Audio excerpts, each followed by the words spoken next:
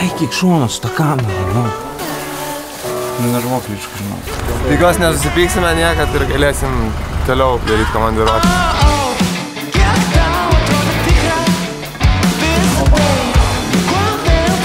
Kukuruku? Kaip pus kukuruku.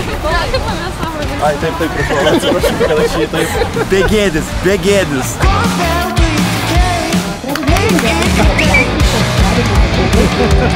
Ir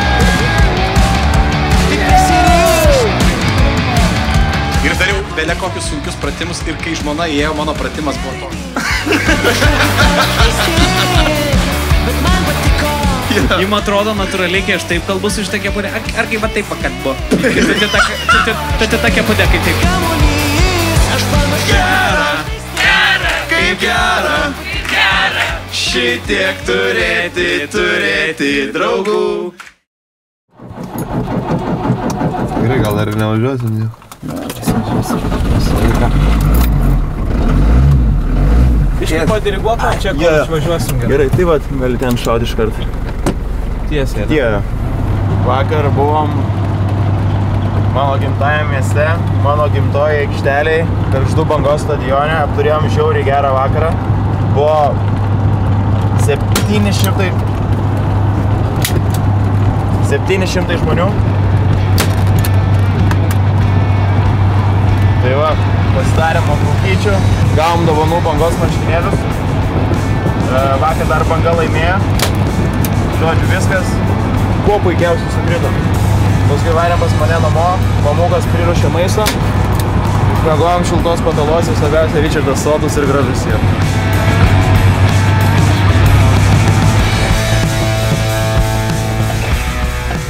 Gerai, važiuoju. Ir ačiū tau labai. Labai malonu. Ryčka, ateik. Kabinkim. Malonu, kad atvykus. Ačiū labai. Ačiū labai. Labai. Ačiū tėvams to. Dar kartą padėko. Ačiū man. Labai faina. Tikiuosi nesusipyksime niekad ir galėsim toliau daryti komandiruotę. MVP.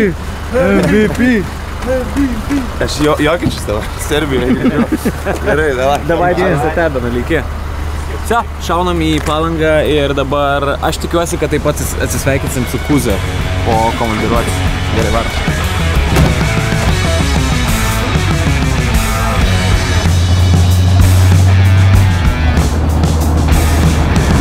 This is your captain speaking. Today we have clear sky. Uh, right now it's uh, 1:08 p.m. or a.m. I don't know. I, I, it's hard for me to recognize those numbers. Houston, we have a problem. We have a problem. Taip, vat para komandai ką tik įsi- sugalvojo papromint komandiruotę. Tiesiog e, Requiem padarė tokį, žinai, iš pietų metų tokį. Up, up. Taip, vat ramiai, taip, majoras, ramiai, Lietuvos kariuomenės majoras. Taip, pat įzi, taip pat.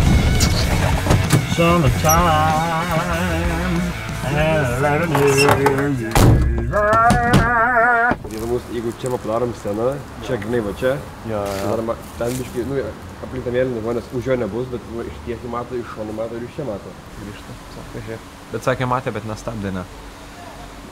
Ai, kai jau reikia neš- nešioti, tai reiškia kamerą pasiemą, bet tada.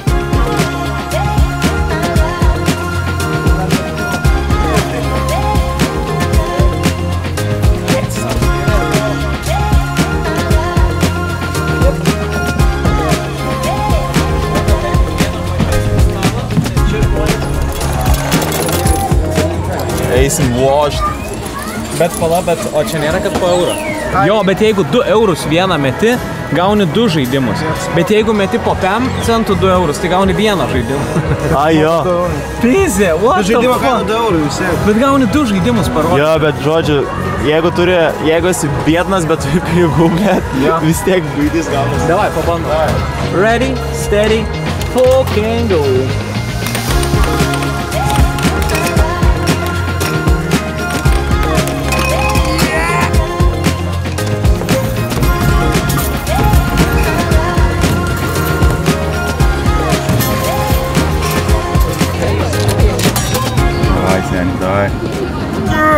Jo, good luck per sunkus. Žiūrėk, žiūrėk, žiūrėk, žiūrėk. What the fuck? Ne, net nepaima. Ui, jo. Davai, davai, davai, davai, davai. Yes! Yes! Yra! Wow! Pirmas. Lucky fucking one. 5 eurus, kaip, ai, ne tu. Nesvarbu. Rimtai ištraukė vieną? O, oh, wow, geras, geras. Kaip žvejybai. Aš dar 2 eurus turiu. Ai, tu savo. Tiesiai, nieko. Kaip tik taip 3 žaismių. Žiūrėk, žiūrėk, gal užkabins. Davai, davai. Airidas vis dar mėto už savo 2 eurus arba antrą, arba tre, antrą partiją žaidžia, nes rekordą pagerino. Aš sužaidžiau už 2 eurus vieną raundą. Tram 5 įmečiau. Ir tai buvo labai arti antro raundo. Tai tiesiog brang, vienas brangesnių raundų palangos istorijai. Aš ten nežinau, Ryčka, ar matai kažką pasikeitęs nuo manęs? Matau. Ar matai kažką pasikeitęs nuo manęs? Nežinau. Ar atrodo, kad aš kažką pasikeičiau dabar? Atrodo, aš kitoks? Atrodo, atjaunėjom. Netoli, nesakykit, aš buvau netoli. Čia jeigu turėčiau dabar 2 eurus, aš laimėčiau žaisliuką. Bet tiek to, nesvarbu, varo. Tiek to. Ar turi 2 eurus? Aš neturiu.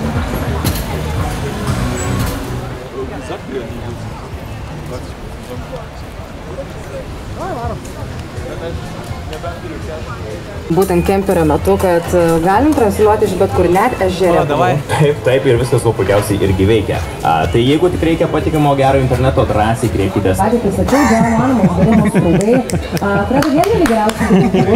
labai labai vasarą, tai yra taškas. Sakot, su kemperiu po Lietuvą ir skirtingus Lietuvos miestus važinėjat, ne? Įdomiai. Su kemperiu važinėjat po skirtingus Lietuvos miestus. Ir juokinam žmonės. Juokinam žmonės. Tai dabar mūsų advokatai irgi atkeliaus ir šiek tiek kalbėti. Labas. Labas, labas. Ar jūs sakot, kad jūs irgi į mikrofoną kalbat? Gerai, tai žiūrėkit, iš karto norim visai Lietuvai pasakyti. Tiltas yra dalykas, kuris jungia du krantus. Pasižiūrėkit dabar į šitą. Jis jungia du krantus, Ryčka? Ne.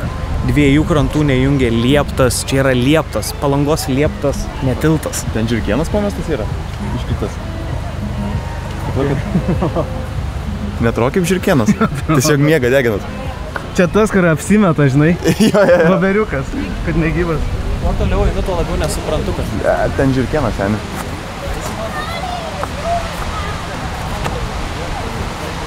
Ryčka, nori inscenizuoti, kaip bus tau? Kukuruku. Ku- Kaip bus kukurukų. Ai, taip, taip, prašau, atsiprašau, kad aš jį taip. Begėdis, begėdis. Oi, begėdis tu. O dieve, kiek gėdos prisidarėm. Oi, oi. paskutinį kartą sakė, atsiprašom, pametėm savo žaislą. Senokis, senokis, ten.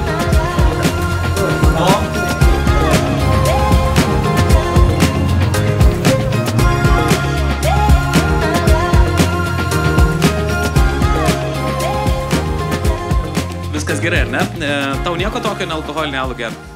Ne, aš tik dabar supratau, dėl ko užklijavę, nes toks neskanus. Tai šiandien pas mus svečiuose jau patys mato turbūt uh, Mindaugas Žukauskas. Uh, Mindaugas Kusminskas šiandien pas mus svečiuose uh, buvo, tu gali net neklausti, aš pasakysiu dar prieš tau paklausant, mes visą laiką organizuodami komandiruotę galvojam, ką čia pakvietus įdomaus ir įdomesnio negu kad tik komikai, nes mes beveik visą laiką kviečiamės tik komikus ir mes sakom, mes nieko dar nesam pakvietę niekada iš sporto pasaulio. Ir buvo du žmonės, kuriuos mes galvojam, kad tiktų puikiai šitam formatui. E, Tai vienas iš jų sėdi čia, kitas yra Rokas Jokubaitis, irgi tikimės, kad kada nors mums pavyks pasikviesti. Tai jo, žinau, kai kurie dabar nusivylėt, kad Mindaugas e, šiandien čia. Ne, labai labai fainai, aš tau Mindaugai sakiau tai, kai atvarėjai pas mus į palangos pasirodymą, pasi- pakartotai galiu prieš e, Tūkstantį. tūkstantį, tūkstantį žmonių šiandien čia ražiai, kad e, tu esi vienas geriausių krepšininkų, jeigu kalbant apie pokalbį. tai, Mindaugai, kaip, kaip laikais? Ačiū, neblogai, ačiū, kad susirinkot. Labai smagu jūsų tiek daug matyti. Jaučiuosi, kad kalbėčiau per kokį savo gimtadienį.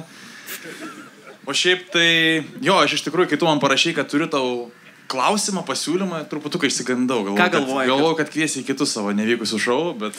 Čia toks, čia tokie pokalbiai šiandien. turime raustus? Gerai. Ne, ne, ką, jau. Davai, davai, mantelį. Man tu kaip... Ne, ne, nepradedam geriau. Uh, aš nenoriu, kad su manim pasielgtumėt uh, kaip 212 su tavim ir atkabintumėt nuo rinktinės šitos. Sorry. Ei, seniai, tu šaudai, aš šaudau atgal. Davai. Šau. Vis, aš, aš, nu, aš noriu pagirimą pasakyti. Varyk.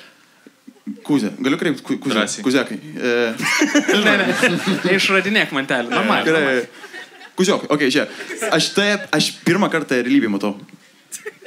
Pirmą kartą kokį matai? Realybėj, realybėj. Ai, Aš pirmą kartą, Okay. aš nesu matęs tokios lygios sodos pas bičią. Tu žiauriai gražus vyras esi. Čia komplimentai Aš nemanau, kad tu ne- antrai pusiai, kuri rūpinas to. Kiekvieną vakarą su pieneliu praeina, tai žinai. Ne tik su peneliu. Nes pas mus tai, vat mes... Uuu. Nes mes Airdu šnekėjom, dar mes pradėjom komandiruotę trečią dieną, pas mus jau brailio raštų gali skaityti ant kaktos, atrodo, murziukas. Vis... Tavo, tavo veidas yra priešingas Česlovo Gabalio veidui. Va tai mes norim pasakyti turbūt.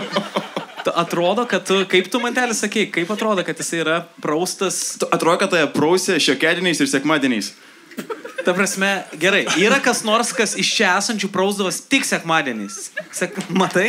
Va. Matai, tai tu toliausiai nuo to. Tu toli, tu atrodo, kad tu esi, kad propjautume dabar ir e, tau oda ir koks nivėja pasipiltų net. Žiūrėk, dabar klausimas, jūs šitus bairius buvote iš anksto susirepetavę? Ne, ne, ne, mes Ne, tave ne, ne, ne. pamatėm seniai iš arti ir okay. wow, ok. O tu garbanuojas plaukas ar ne, ar tau taip natūraliai visiškai?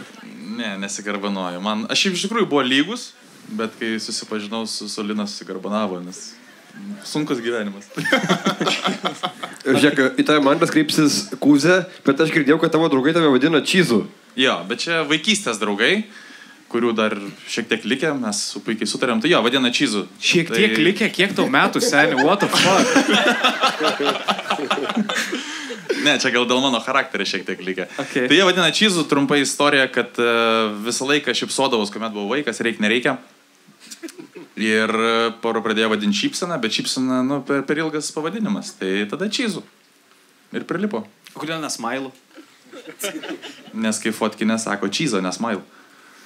Okay, dar kartą įveikė mane. Okay. Asmeniškai priemsi šitą. E, gerai, tai Mindaugai mes tave pagavom atostogaujantį, ne palangoj.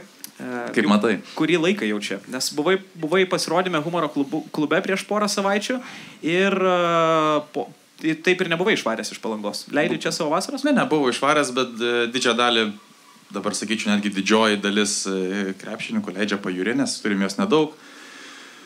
Vasaros. O tu, jūs atvažiuodavot su šeima į palangą, kai tu vaikas būdavai? Kaip pavadinsi, mes galbūt negalėjom apsistoti palangoje, tai apsistodavom darbienuose pas giminaičius antram, netgi sakyčiau, trečiam aukšte paliepiai. Mm. Ir važinėdavom arba į šventą, arba į palangą. Aš įsivaizduoju, kaip tu paliepiai visas atostogas, man taip pat praleidęs tiesiog. Bet tai man tai aš negimiau tokio ūgio, suprantu. Gerai, trečias taškas jo sąskaitai, what the fuck, jeigu iki penkių, tai aš jau to įdėksiu. E, Dar, dar kalbant apie brolį, e, mums pavyko dasikasti iki vienos istorijos, e, taip, bet žmogus čia sėdė, jeigu išduosiu, bet e, pasakojo, kad e, tu esi septyni metai jaunesnis, ne? Mhm. Bet e, tavo brolis, kai švesdavo gimtadienį, Mhm, jau žinau apie ką. e, su, su, su, su Vaidu, ir, ir e, yra minėjęs, kad tu būdamas septyniais metais jaunesnis, nukabindavo jų panas. Čia tiesa? Nu, vieną karbu.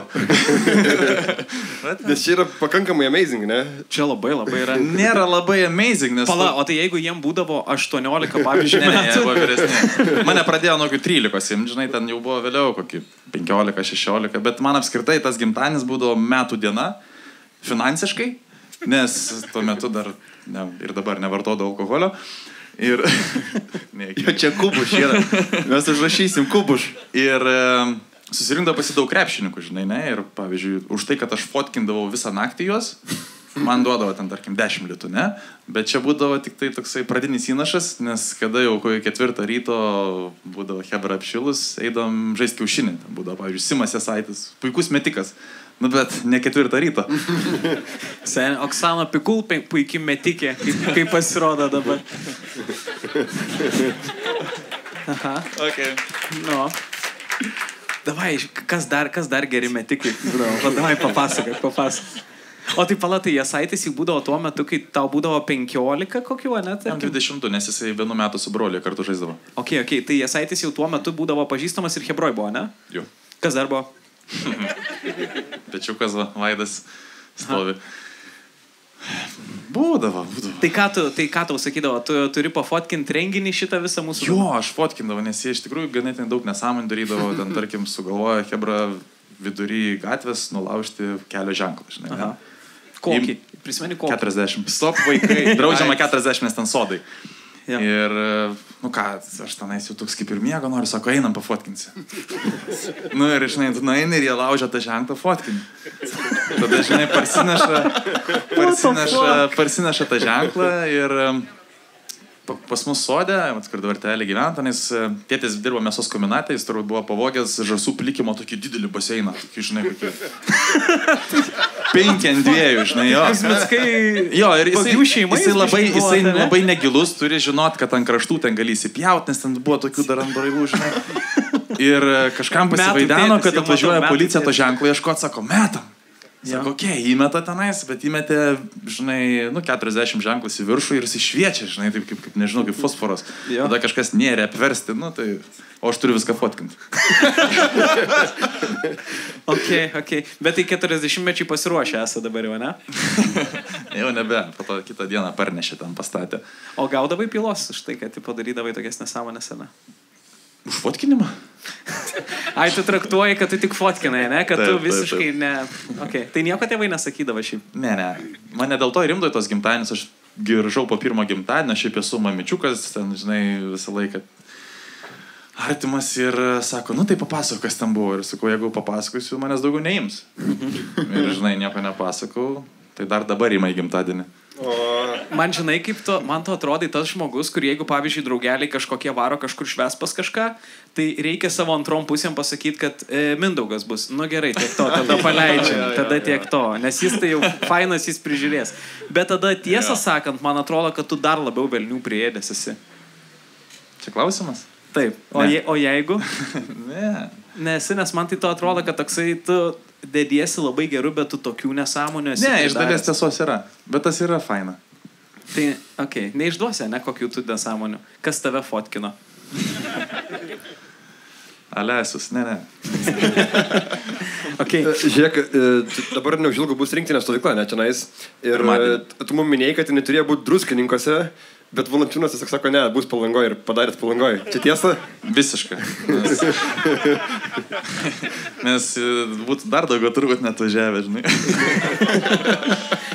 O tai gerai, e, kaip, kokia situacija dabar yra? Ką pats manai apie tai, kad e, daug dabar visi diskutavo, diskutavo ir kažkas podcastuose apie tai, kad yra žmonių, yra krepšininkų, kurie nesutinka ir pas kai kurios tikrai yra objektyvos priežastys, ką pats manai apskritai.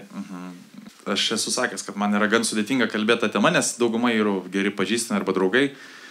Bet, e, kaip bebūtų, aš gal aš senesnės tos kartos šiek tiek, bet pateisinu vienintelę priežastį, jeigu yra sveikatos problemos arba ten šeimos kažkokios problemos.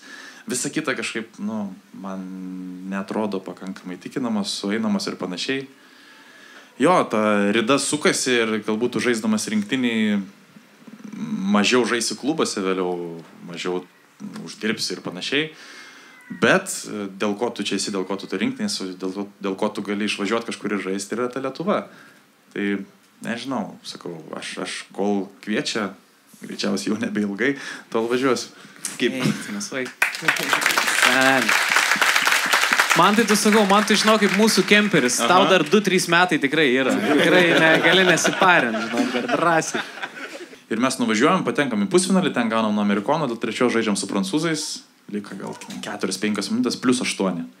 Ir gaunam tas rungtynės ir, ir, ir turbūt to pasaulio čempionato medalio niekada gyvenime ir neturėsiu. Tai va tas turbūt būtų skaudžiausias. Matau, linksi galvą pritarė, ne? Ten tada paminu, kaip pocis. Jūs, jūs nelinksit, nes jūs ne, ne, neprisiminat, kiek tau buvo metų. Tau sakau. Ai, man. Tavo tokios žydros akis, aš pasimečiau senį. Kiek man metų? Aš žiūriu, kad iš pokalbio išėjęs kažkur mes čia trysia bendravome. Aš įėjęs senį pokalbį, giliai įėjęs. Aš tiesiog jau kurį laiką siunčiu grimalių ženklus, nebandyk liest mindaugą. Nebandyk liest. Aš matau, ką tu nori padaryti. Mes turėjom tokį klausimą, e, sugalvoję, kad e, e, jeigu tau reikėtų varyti vat, į komandiruotę, kai mes važiuojam su kemperiu, bet reiktų rinkti žmonės tik iš Lietuvos rinktinės. Ką pasimtum? Nu, sakyčiau, trys, bet netiltume trys dar, tai du dar žmonės. Tiltume, tiltume. Bent jau. Tai davai, gali du, gali tris. Gali būti baigę rinktinę Jo. karjeras, jo. Ok, tai imčiau tikrai... Sabonį. O tada tikrai netiltume. Jo, jo. Kalnietį.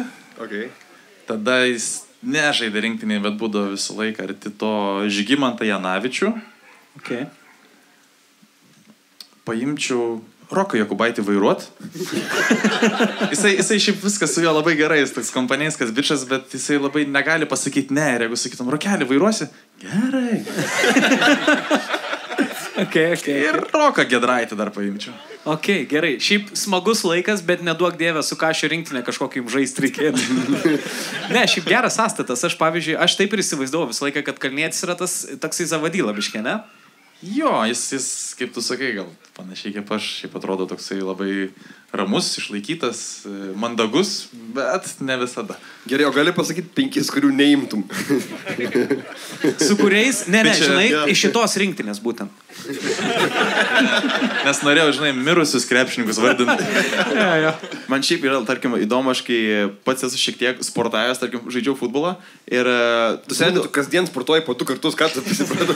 nu, aš, aš nenoriu permušti svečio.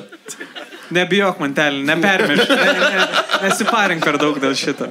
Man šiaip yra, aš žinau, kad, aš žinau, kad sportininkai, jie, jie tarkim, turi tam tikro, e, kaip pasakyti, nesimbolizmo, bet e, jūs, tarkim, net užskrito šitas žodis, Prietarai, dar ritualus prietarai. ir prietarus, ar ne? Mhm. Kur, tarkim, ten e, yra, žinau, pora ledo ritulininkų, kur, tarkim, kai maunasi, e, tipo, getras, žinai, tai turi pradėti nuo kairės ir dešinės. Jeigu pradėti nuo dešinės, nusimauna, tada pradėti iš naujo. Getras, ilgas, kai ant apsaugų užsideda. Tai man įdomu, ar pas jūs yra, yra kažkas, kas, žinai, yra, turi keistą tokį, ar tu pats, žinai, turi. Jo, jo, turiu, žinau, kurį batą užsimausiu pirmą, kurį užsirišiu. Kurį, kurį, kurį, kurį, kurį.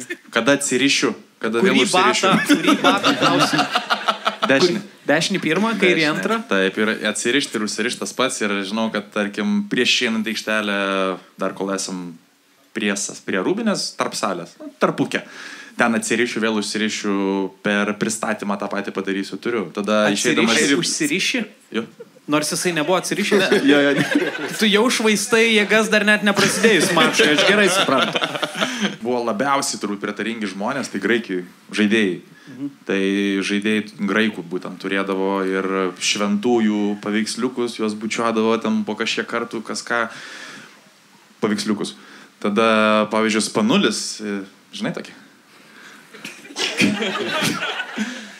Nu, tai jisai, jisai buvo turbūt prietaringiausias žmogus, kokį esu gyvenime matęs. Jisai rungtynių dieną nepadarydavo nei vieno turbūt judesio, kurio nedaro visą laiką. Jis įsibėga į aikštę, jis turi užminti tam tikras linijas, jis turi išbėgant į aikštelę per tam tikrą petį per kairę atsisukti ten porą kartų, taip toliau. Nu, wow, buvo neįtikėtina. Ir aš tada pagalvojau, kad mano atsirišimas, užsirišimas yra Niekas. labai labai niekis jo. O tai daugiau neturi, tik tai užsirišta, užsirišta. Turiu, nu, bet čia su, su kitais, pavyzdžiui, dalykais, jie mytyba identiška visą laiką, makaronai, vištas salotos, nieko įdomaus.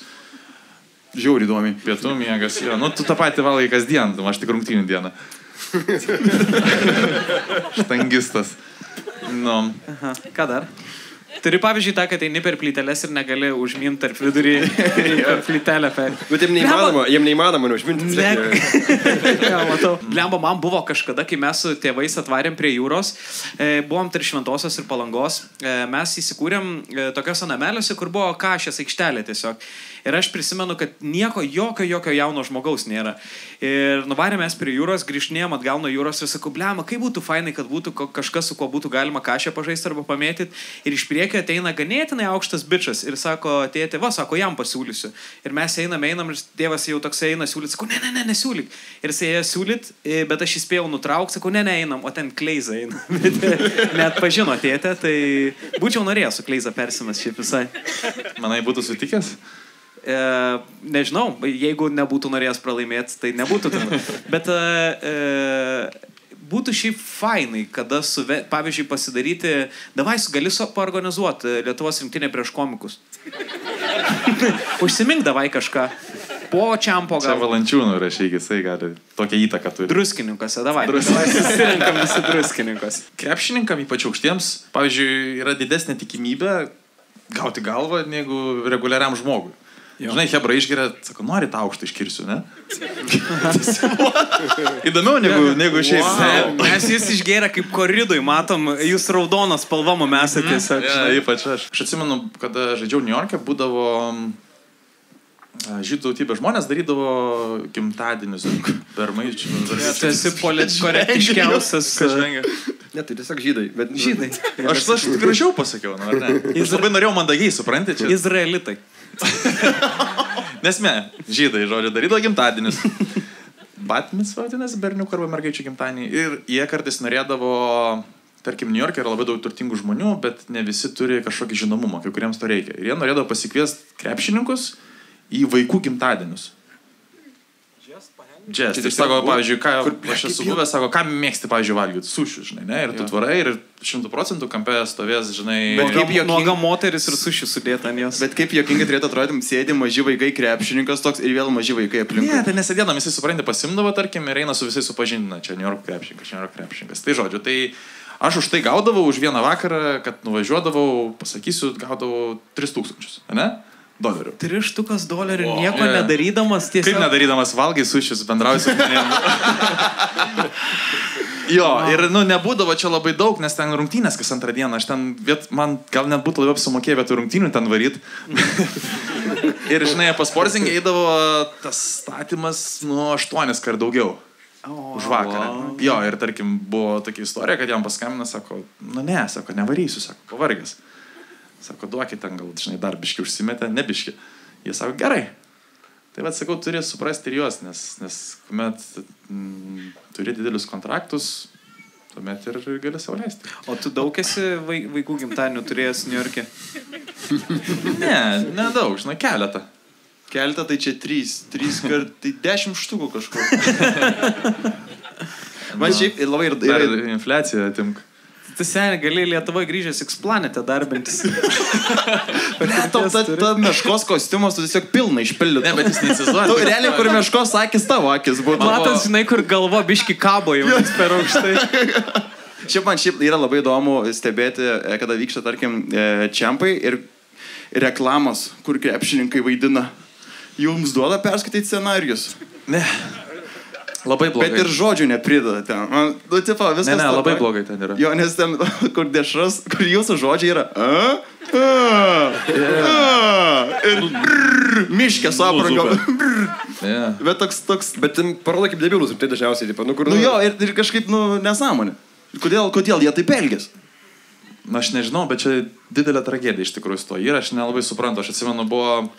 Ai, neminėsiu prekinio ženklo, nes užpipinsit. E, Tai gali Mėsos perdirbo įmonė- įmonės, žinai, dešres reikėjo reklamuoti.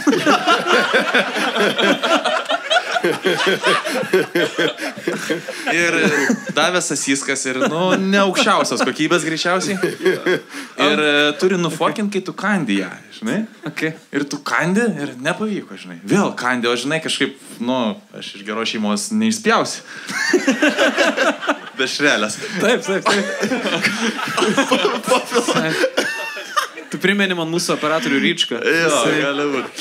Ir suvirand ir nežinau, ten kokias septynias dešrelės suvalgiau, kol, kol tas kadras gavos. O didžiausia bėda, kad dažniausiai nebūna laiko daug tom reklamom, tarp treniruočių būna, žinai. Nu, tai mes norim kuo greičiau, jie nežinau, ko nori kartais. Bet čia tiesiog, kad jūs negaunat už tai pinigų, čia viskas... Jo, jo, jo, negaunam, negaunam. Nu, tad, pavyzdžiui, ten, tada gavau dešrų kelias, žinai. Bet žinai, dešrelės dar yra nieko. Aš esu dalyvavęs reklamai, kur man reikėjo Alpro produkcijoje gert kavą.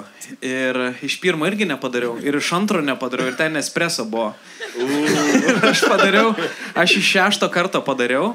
Ir aš grįžtu namo, aš nesuprantu, kas darosi, kas vyksta, bet man viskas, va taip, va, mirguliuoja, viskas šoka aplink mane. Ja, ja. Tai dar neblogiausiai, kas gali būti. Jo, blogiausia, kai būna producerė, režisierė, nežinau, kas ten reguliuoja visą, kuomet jie nėra susidūrę visiškai su krepšininkais. Jie ten, žinai, ten koks tavo vardas, tata, jie ne, nesupranta mūsų visiškai tvarkarašio. Mes Jo. esam vėl pieno perdirbimo įmonės vieną darė reklamą.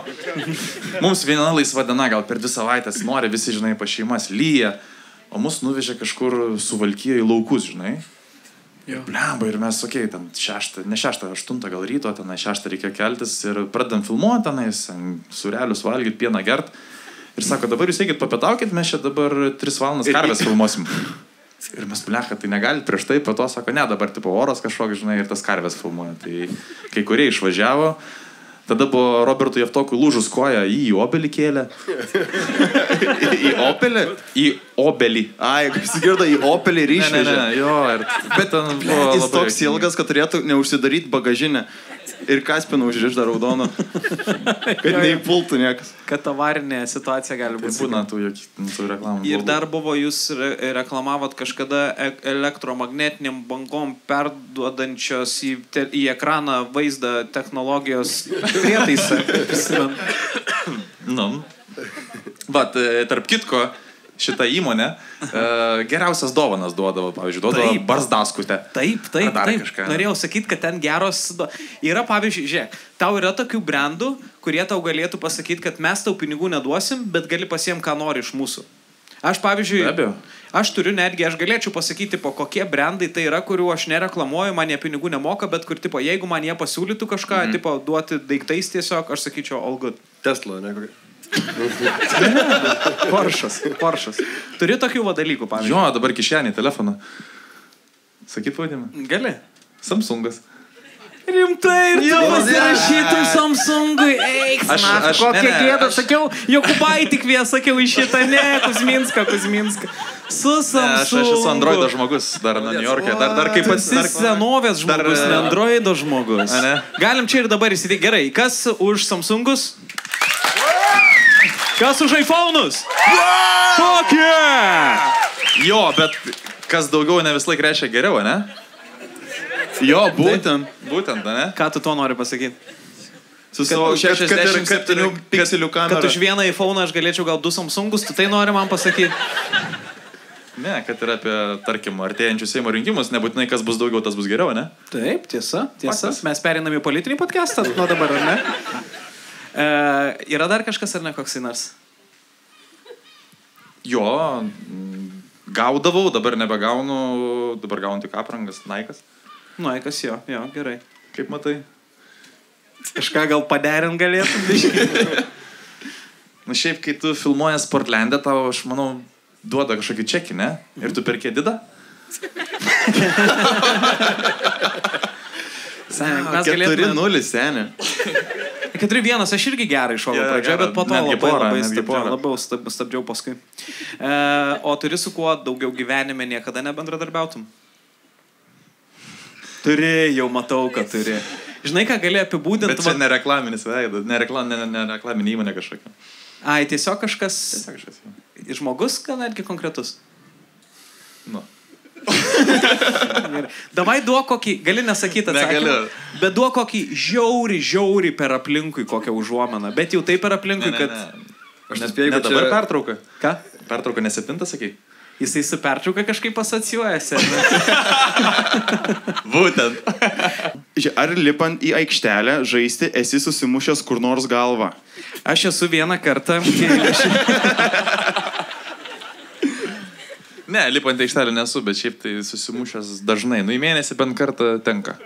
Yra kažkokia nesąmoninga baime, pavyzdžiui, žinau, komikai turi nesąmoningą baimę, netyčia e, nukristi nuo scenos arba lipant į sceną nukristi. Turit kažkokią va tokią baimę, kur išbėginiai tavo vardą, ką tik ži- e, kas nors paskelbė. Ir tu... Ne, supranti, kai mes išbėginėjom, žiūrovų nebūna, tai kad ir nukrinti nieko baisaus. ne, kai pristato po to. Ne, žinok, nėra. Neturi tokių baimę? Ne. Šaunuolis. Top 3 lietu, lietuviškos estrados dainos. Čia žinojo tave, man atrodo. Jo, Klausdami. pala, Tu mėgsti paklausyti. Pirmoje vietoje būtų studija draugams. Dar per festivalį dainavau kartu su Januška. O kaip, kaip dainuojas, aš nepamenu gerai dabar. Ne, ne, čia ne jum klausimas, ar jūs suprantate. Nusiskyrę nebuvom visai. Tega, tega, tega, verkėm iš džiaugsmo sustoję ratu. kaip gera turėti tiek draugų. Gera, gera, kaip gera, gera, šitiek turėti, turėti draugų. Gera, gera, kaip gera, šitiek turėti tiek draugų. Dam, dam, dam, dam, dam, dam, dam, dam, dam. Ačiū labai, buvo buvo puiku, buvo puiku. Tai pirma. Antra, dabar. Antroji dabar per... Prašau, neduok GNG sindikato. Ne, ne, ne. tokios. Uh, Atsimena toks kelyje žvaigždės buvo Robertas Kupstas. Jų. Rojus čia mano rytojus. Taip. Wow. Šita daina labai gera. Wow. Paklausykit, ypač kai gyveni ne Lietuvoje, labai smagi daina. Arba Okay. kai Balevoje. Um, trečia. Fu, fu, fu, fu, fu. Ką, klau, turit kažkokią tradiciją klausyti su rinktinė, tarkim, kokios nors... Jo, dainos? būdavo kiekvienais metais skirtingai, bet du metus iš eilės skirtingos dainos buvo Andžiko. Na ir... What? Ja, Andžikas, Ko- 1, 2, 3, į gamtą. Aš labai atsiprašau, aš ne, nerealeitinu dabar tiksliai. Ja. Okay. Paklausyk, fainai. Tai mūsų rinktinė skiria, skina pergalės tik tai Andžiko dėka, tai tu nori pasakyti? Šiaip iš tikrųjų tuomet, kuomet laimėjom medalius ir klausėm Andžiko. Wow, čia tokia reklama Andžikų yra padaryta nesvietiška dabar. Cool, cool, cool. Šiaip žinai, tu turi tą patį, ką aš, tu net nelabai turi bruožų, ne? Pavyzdžiui, jeigu mes būtume... ne, ne, bet ir aš. Jeigu mes, pavyzdžiui, būtume pliki, ne? Pavyzdžiui, jisai turi antakius barzdą, tu irgi antakius barzdą, tu tik barzdą.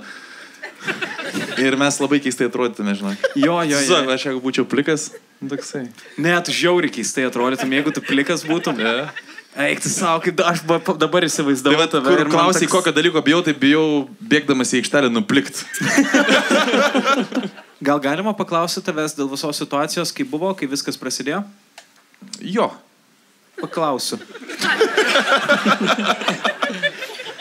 Jo, tai buvo, atsikeliu ryte, ruošiuosi treniruotę ir gaunu nuo brolio žinutę. Ar išsikeitė pinigus? Nes e, tokia buvo situacija, kad e, atlyginimus gaudom rubliais. Tai tu tikrai esi milijonierius jau, ne? Nu, jo. ir sakau, "O kas yra. Ir tada, kol jis atrašė, atsidarau visus tinklapius ir prasidėjo karas. Važiavau į banką, bandyti keis, bet ten buvo, nu, žiauri panika, visi žmonės, pilna, močiučių, rėkiant darbuotojų, bank, bankomatai tušti, taip toliau. Man... Koks, koks bankas buvo? Alfa bank. Čia be bairio. Alfa. Pas jas net bankai alfa yra. Yeah. Ir um, tada žiūriu, ten už 3 valandų treniruotę šią nespėjau, žinai, bet varau treniruotę, kokia ten situacija atėjo, komandos prezidentas visus pradėjo raminti. Ok. Tai aišku, kad rusas, bet nusiraminkit. Ten rusas, ne, buvo prezidentas rusas. Jo, jo. Nu, tada antrą dieną ateinam į treniruotę ir ten nieks jau krep, krepšinį, krepšinis niekam neberūpi, žinai. Dar beros tą dieną su Barcelona turėjom žaisti, jie neatskrido, tenais irgi iki pat rungtynių nebuvo aišku, nesvarbu. Ir uh, baiginėjom treniruotę ir treneris sako, suprantu situaciją, sako, bet uh, kad sunki, bet čia turim išlikti kartu, bet jeigu kas nors išvyktumėt, it's ok. Ir aš tada išvažiavau iš, iš, iš treniruotės, antra diena buvo karo ir važiuodamas paskambinti treneris, sakau, treneris, sakau, aš išvažiuoju, sakau, bet, nu, nekalbam per daug, nes e, jeigu sužinotų anksčiau, kad tu išvažiuoji, nu, žinai, tu, tu, tu sėdėdamas su kokiu nors, nežinau, išpratėjusiu žmogum, ar teroristu, ar kažkuo, tu jam blogų žodžių nesakytum akis turbūt, ne? Tik tai kada išvarai. Ir e, atsimenu tada jau, kada mm, sugalvojau važiuoti. Svarbu, man taip šviečia į veidą nesvietiškai, aš tai būsiu biški dabar, kol pasileis. Ir, e, žinai, aš ryte noriu išskristi, iš vakaro žiūriu bilietus ir e, išeina straipsnis, kad buvo lietuvių vienintelį neuždarę. Štokią liūdną istoriją pasakoju, tu vairuoji, nu. Sorry, blemba. Bet tau matai kepurės netingai įsivaizduoju, kas būtų, jeigu būtum plikas. Sen čia neįsivaizdavimo klausimas. Čia, me, čia metų klausimas. Žodžiu, ir aš noriu nusipirkti bilietus ir žiūriu, kad uždarė oro erdvę Lietuvos. Ir tada vis naktį nemegau, laukiu pirmo skrydžio iš Kaliningrado į Peterburgą ir skrenda. Tu į Kaliningradą variai? Aš ten daug kartų buvęs, jo. Okay. Skridęs, jo. Ir žiūriu, pirmas skrydis įskrido ten gal penktą ryto. Aš iškart bilietą nusipirkau tiesiai į oro uostą ir, ir Kaliningradą. Ten pasi, pasigavau tokią... Toks autobusiukas, panašus jūsų kemperio autobusiukas iš tikrųjų, žinai, tipo iki, iki, žinai, iki sienos pavežtis mane veža, žinai, sako, kaip Lietuvoje žmonės gyvena, sakau, nu, gerai, žinai, ta, ta, ta, sako, ką gerai, sako, žinai, čia jūs ten neuždirbat, jūs ten blogai gyvenat, čia visi pabėgo, žinai, ir aš galvoju, tu mane veži 150 km už 20 eurų ir taip kalbi, žinai. Bet ant galo, žinai, buvo geriausia, kad pasiūlė naminukės nusipirkti. Ja. Wow, wow. Tai va, ir tada, žinai, jau kada praėjau sieną, nes rašė iš klubo, kur tu esi, žinai, nes iš treniruotės net jau taip toliau, žinai, ir kada jau praėjau sieną, tada parašiau, žinai. Bet tu, man atrodo, irgi buvai tarp tų, kurie gavo heito, ne? Dar ten pirmom dienom iš karto kojišą ne, neparvarė. Vienareikšmiškai, bet e, visiškai nepelnytai ir ten, pavyzdžiui, kai toks guoga kažką kalbėdavo, žinai, kad čia grįžkit, kur tu pats esi, žinai, tuo metu. Jo, jo, jo. jo. Tai prasme, apie ką eina kalba, žinai, mes e, nėra taip paprasta, yra vienoje vietoje jo, yra prasidėjo karas, antroje vietoje, žinai, nu, pirmas dienas iš vis nesurientuoji, pirmą dieną tu nesupranti, antrą dieną toksai jau pradedi orientuotis, bet yra įsipareigojimai, turi kontraktą. Žinai, ne, ir e, vienareikšmiškai tu gali žiauriai, žiauriai finansiškai nukentėti. Aš nukentėjau tuo, kad praradau likusių kontraktą ir tai, ką jie man tuo metu buvo skolingi. Bet e, ačiū Dievui pavyko išsispręsti, kad netiminėtų dar iš manęs pinigų, nes tu nežinai, kaip išsispręsti tie, tie dalykai. Antras dalykas, tu uh, didžioji daly jau profesionalių klubų būtų nuomojas pats, tau duoda sumą pinigų. Tai tu esi su tai žmonėms sudaręs, žinai, nuomos sutartį. Buvo mano tie nuomotai nuostabus. Tu žinai, su jais turi gražiai kažką, tu turi mašiną atiduoti. Nu, yra begalė, begalė smulkmenų, būtent smulkmenų, jos neskamba kažkaip rimtai, dėl kurių tu negali va taip pat ir važiuoti. Bet dar ir tas, e, man labai geras pointas buvo apie tai, kad, e, tarkim, tie, kurie užtruko, nu, jiem buvo ganėtinai sunku šnekėti, nes jie buvo Rusijoje tuo metu.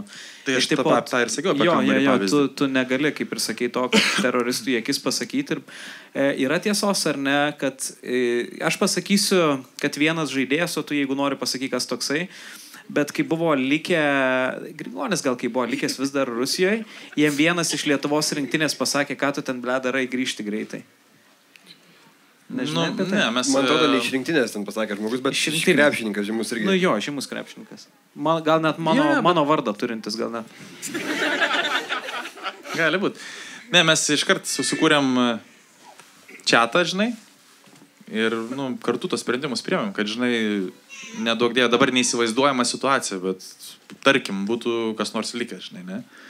Tai, nu, automatiškai tu pakiši žmogų patanku, žinai, ne, tenais išvažiuodamas, tai visi sakom, visi varom, viskas. Tai, tai čia klausimų nebuvo, tik buvo detalės, kurias reikėjo išspręsti. Hipotetinis klausimas. Jeigu kas nors iš lietuvių būtų likęs e, Rusijoje žaist, ar jisai žaistų, jeigu net ir geras žaidėjas, ar jisai žaistų Lietuvos rinktinį? Ne, Nežaistų? nėra šansų. Cool. Cool. Labai džiaugiuosi. Gerai, žinot ką, aš vietoj, vietoj pavardės X pasakysiu. Ar X kotas toks pats ilgas kaip ir jisai?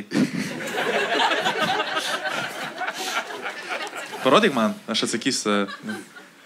Ir ku- kur kuzė? Tada ne. Tai gerai, e, mes turim follow-up klausimą ir mes esam diskutavę ne kartą ir mums labai neduoda ramybės tas klausimas. Mes esam girdėję iš dviejų ar trijų skirtingų šaltinių, patikimų labai, kurie yra buvę Lietuvos rinktinės rūbiniai. E, gerai, žiūrėk, ne? E, mes esam girdėję, aš dabar nenoriu rodyti dydžio, bet kad...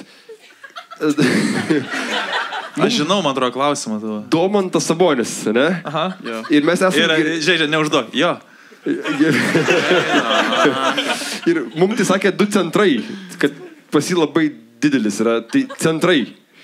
Wow. Kur priekiu kristų išmuštų šaltinį Jo. vandens tikriausiai. Tai gerai, ačiū, nuraminai mane viskas dabar, nes aš prieš miegą galvodavau. Ok, fu. Aš taip kopau šitam klausimui, gerai. Kuris komandiruotės svečias nustebino labiausiai? Ar labiausiai laukiamas? Kodėl, ką labiausiai norėtumėt pakviesti? Mane šiandien, šiandien nustebino labai Mindaugas. Aš Be galvojau, jokios bipčiulpystės, iš tikrųjų, nu, nustebinai. aš galvojau kad čia Pereinant iš ano klausimo į šį klausimą, gražiai. Uh, tikrai, žinok, nustebinai. Bet net ne tai, kad nustebinai. Aš žinojau, kad Mindė yra vienas iš tų sportininkų, kuriuos tikrai galima kviesti ir nebejoti, kad bus fainas vakaras. Aš tiesiog nesitikėjau, kad tu taip gerai bairis. Aš net nesitikėjau, kad tu varysi ant mūsų, gal jeigu tiesą sakant. Tai labai, labai ačiū tau. Aš galvau, kad bus labiau intervas toks gausis, tu šiek tiek, nu, jo, kad jo, mes jo. klausinėsim, o Mindė puikiai dalyvauja pokalbį, ko mes ir norėjom. Tai čia... O žiūrėk, sakai, norėjot e, Jokubaičio čia, ne? Jo. Kodėl atsisakė, dėl ko mane pakvietėte? Ne, tai mes pir- pirmuo tave... Kas tau sakė, kad atsisakė? Nes faktas, jeigu jau man skambina, reiškia atsisakė. Ne, ne, ne. Mes Tikrai išbandė Jokubaitį. Ne, seniai. Tu, Pirma, tu tu- atėjai pasirodymą ir tada aš pagalvojau, kad jeigu tu esi čia, tai gal tu galėsi tiesiog tuo metu. Ir dėl to mes Jokubaičių net nerašėm. Rašėm kažkokiam bičiui labai panašiam Jokubaičiui. Mindaugai, kodėl per, per pasaulio čiampą užsirišai pirmiau dešinį kėdą ir vis tiek prapiso? Gal laikas keis pusės? Geras klausimas, tai ne? Geras, geras, Geras, geras, geras. geras klausimas. Mėgstamiausias Lietuvos komikas yra... Davai, kiekvienas atsakom. Man tai? Šiuo metu jie saitis jaučiu. Ai. Ok. Mindaugai? Blemba, nu, sakyčiau tave nuoširdžiai, bet kadangi čia esi, tu- turiu kitą sakyti, ne? Ne, ne taip veikia šitas žaidimas. Aš A čia tikrai tai tau parašyta, ar čia pats uždavai, ne, nes žinai. Ok. Tai tu. Bet gerai, tai, ne, o gerai, ką tada sakytum kitą? Tada žinosim, kas iš tikrųjų. Kita. Pala, tu atsakyk, tada aš. Tai mano būtų Kartleris, Vanila Kilabi ir Bartuševičius tada. Išėlės trys tretukas toksai. Gerai, tada mano biški pasikeitė. Tu tikrai manęs nebūtum dėjęs. Ne, aš šiaip tiesą sakant, aš vieną atsakysiu man Katleris, nes uh, jis nuo... Aš pradėjau jį labai stipriai žiūrėdamas ir jis man patiko nuo pat pradžių. Ir man labai žavu, kad po tiek metų, o jau jų turbūt netoli 15, jis yra vis dar išlaikęs šitą. Labai vertinu net ne tiek komediją, kiek aš žinau, kaip sunku yra išlaikyti visą šitą. Tai. Aš negalvoju, kad high class galime imti komikus, aš žinau, kad čia tarp, tarp jūsų. Man, mano. Tai tada Katleris, jo. Taip tau ir reikia su to Samsungu. Pažiūrėk, ar nesudužo, jeigu ką į fauną duosim. Ne? Mantas Grimalis. Mindaugas Kusminskas. Mantas Bartuševičius. Komandiruotė 3. Palanga, Ražė. Ačiū visiems, kad šiandien atvarė. Pobelė kaip smagus vakaras. Ačiū, mes nusilenkėm ir kai nusilenksim, pysinkit von visi gerai, mums kitas renginys lauk. Ačiū labai, Hebra, visiems susitiksim kitais metais, iki jų ir atsisveikinam, o dabar ate.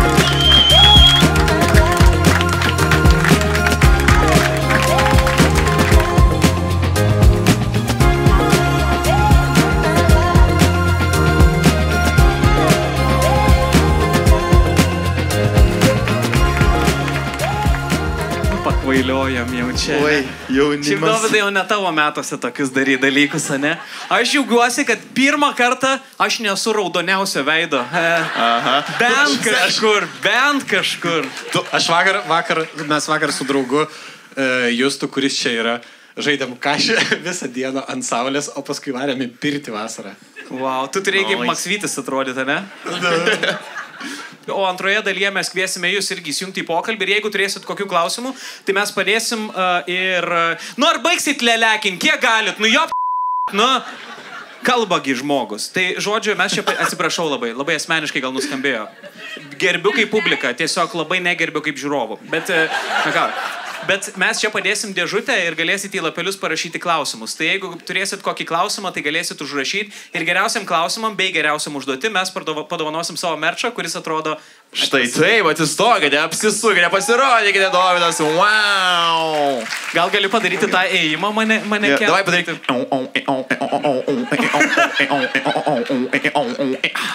Šiandien tai buvo bairis, žinai, koksai. Aš šiandien dariau workoutą, nes galvoju, eisiu į sceną, reikia pasportuoti.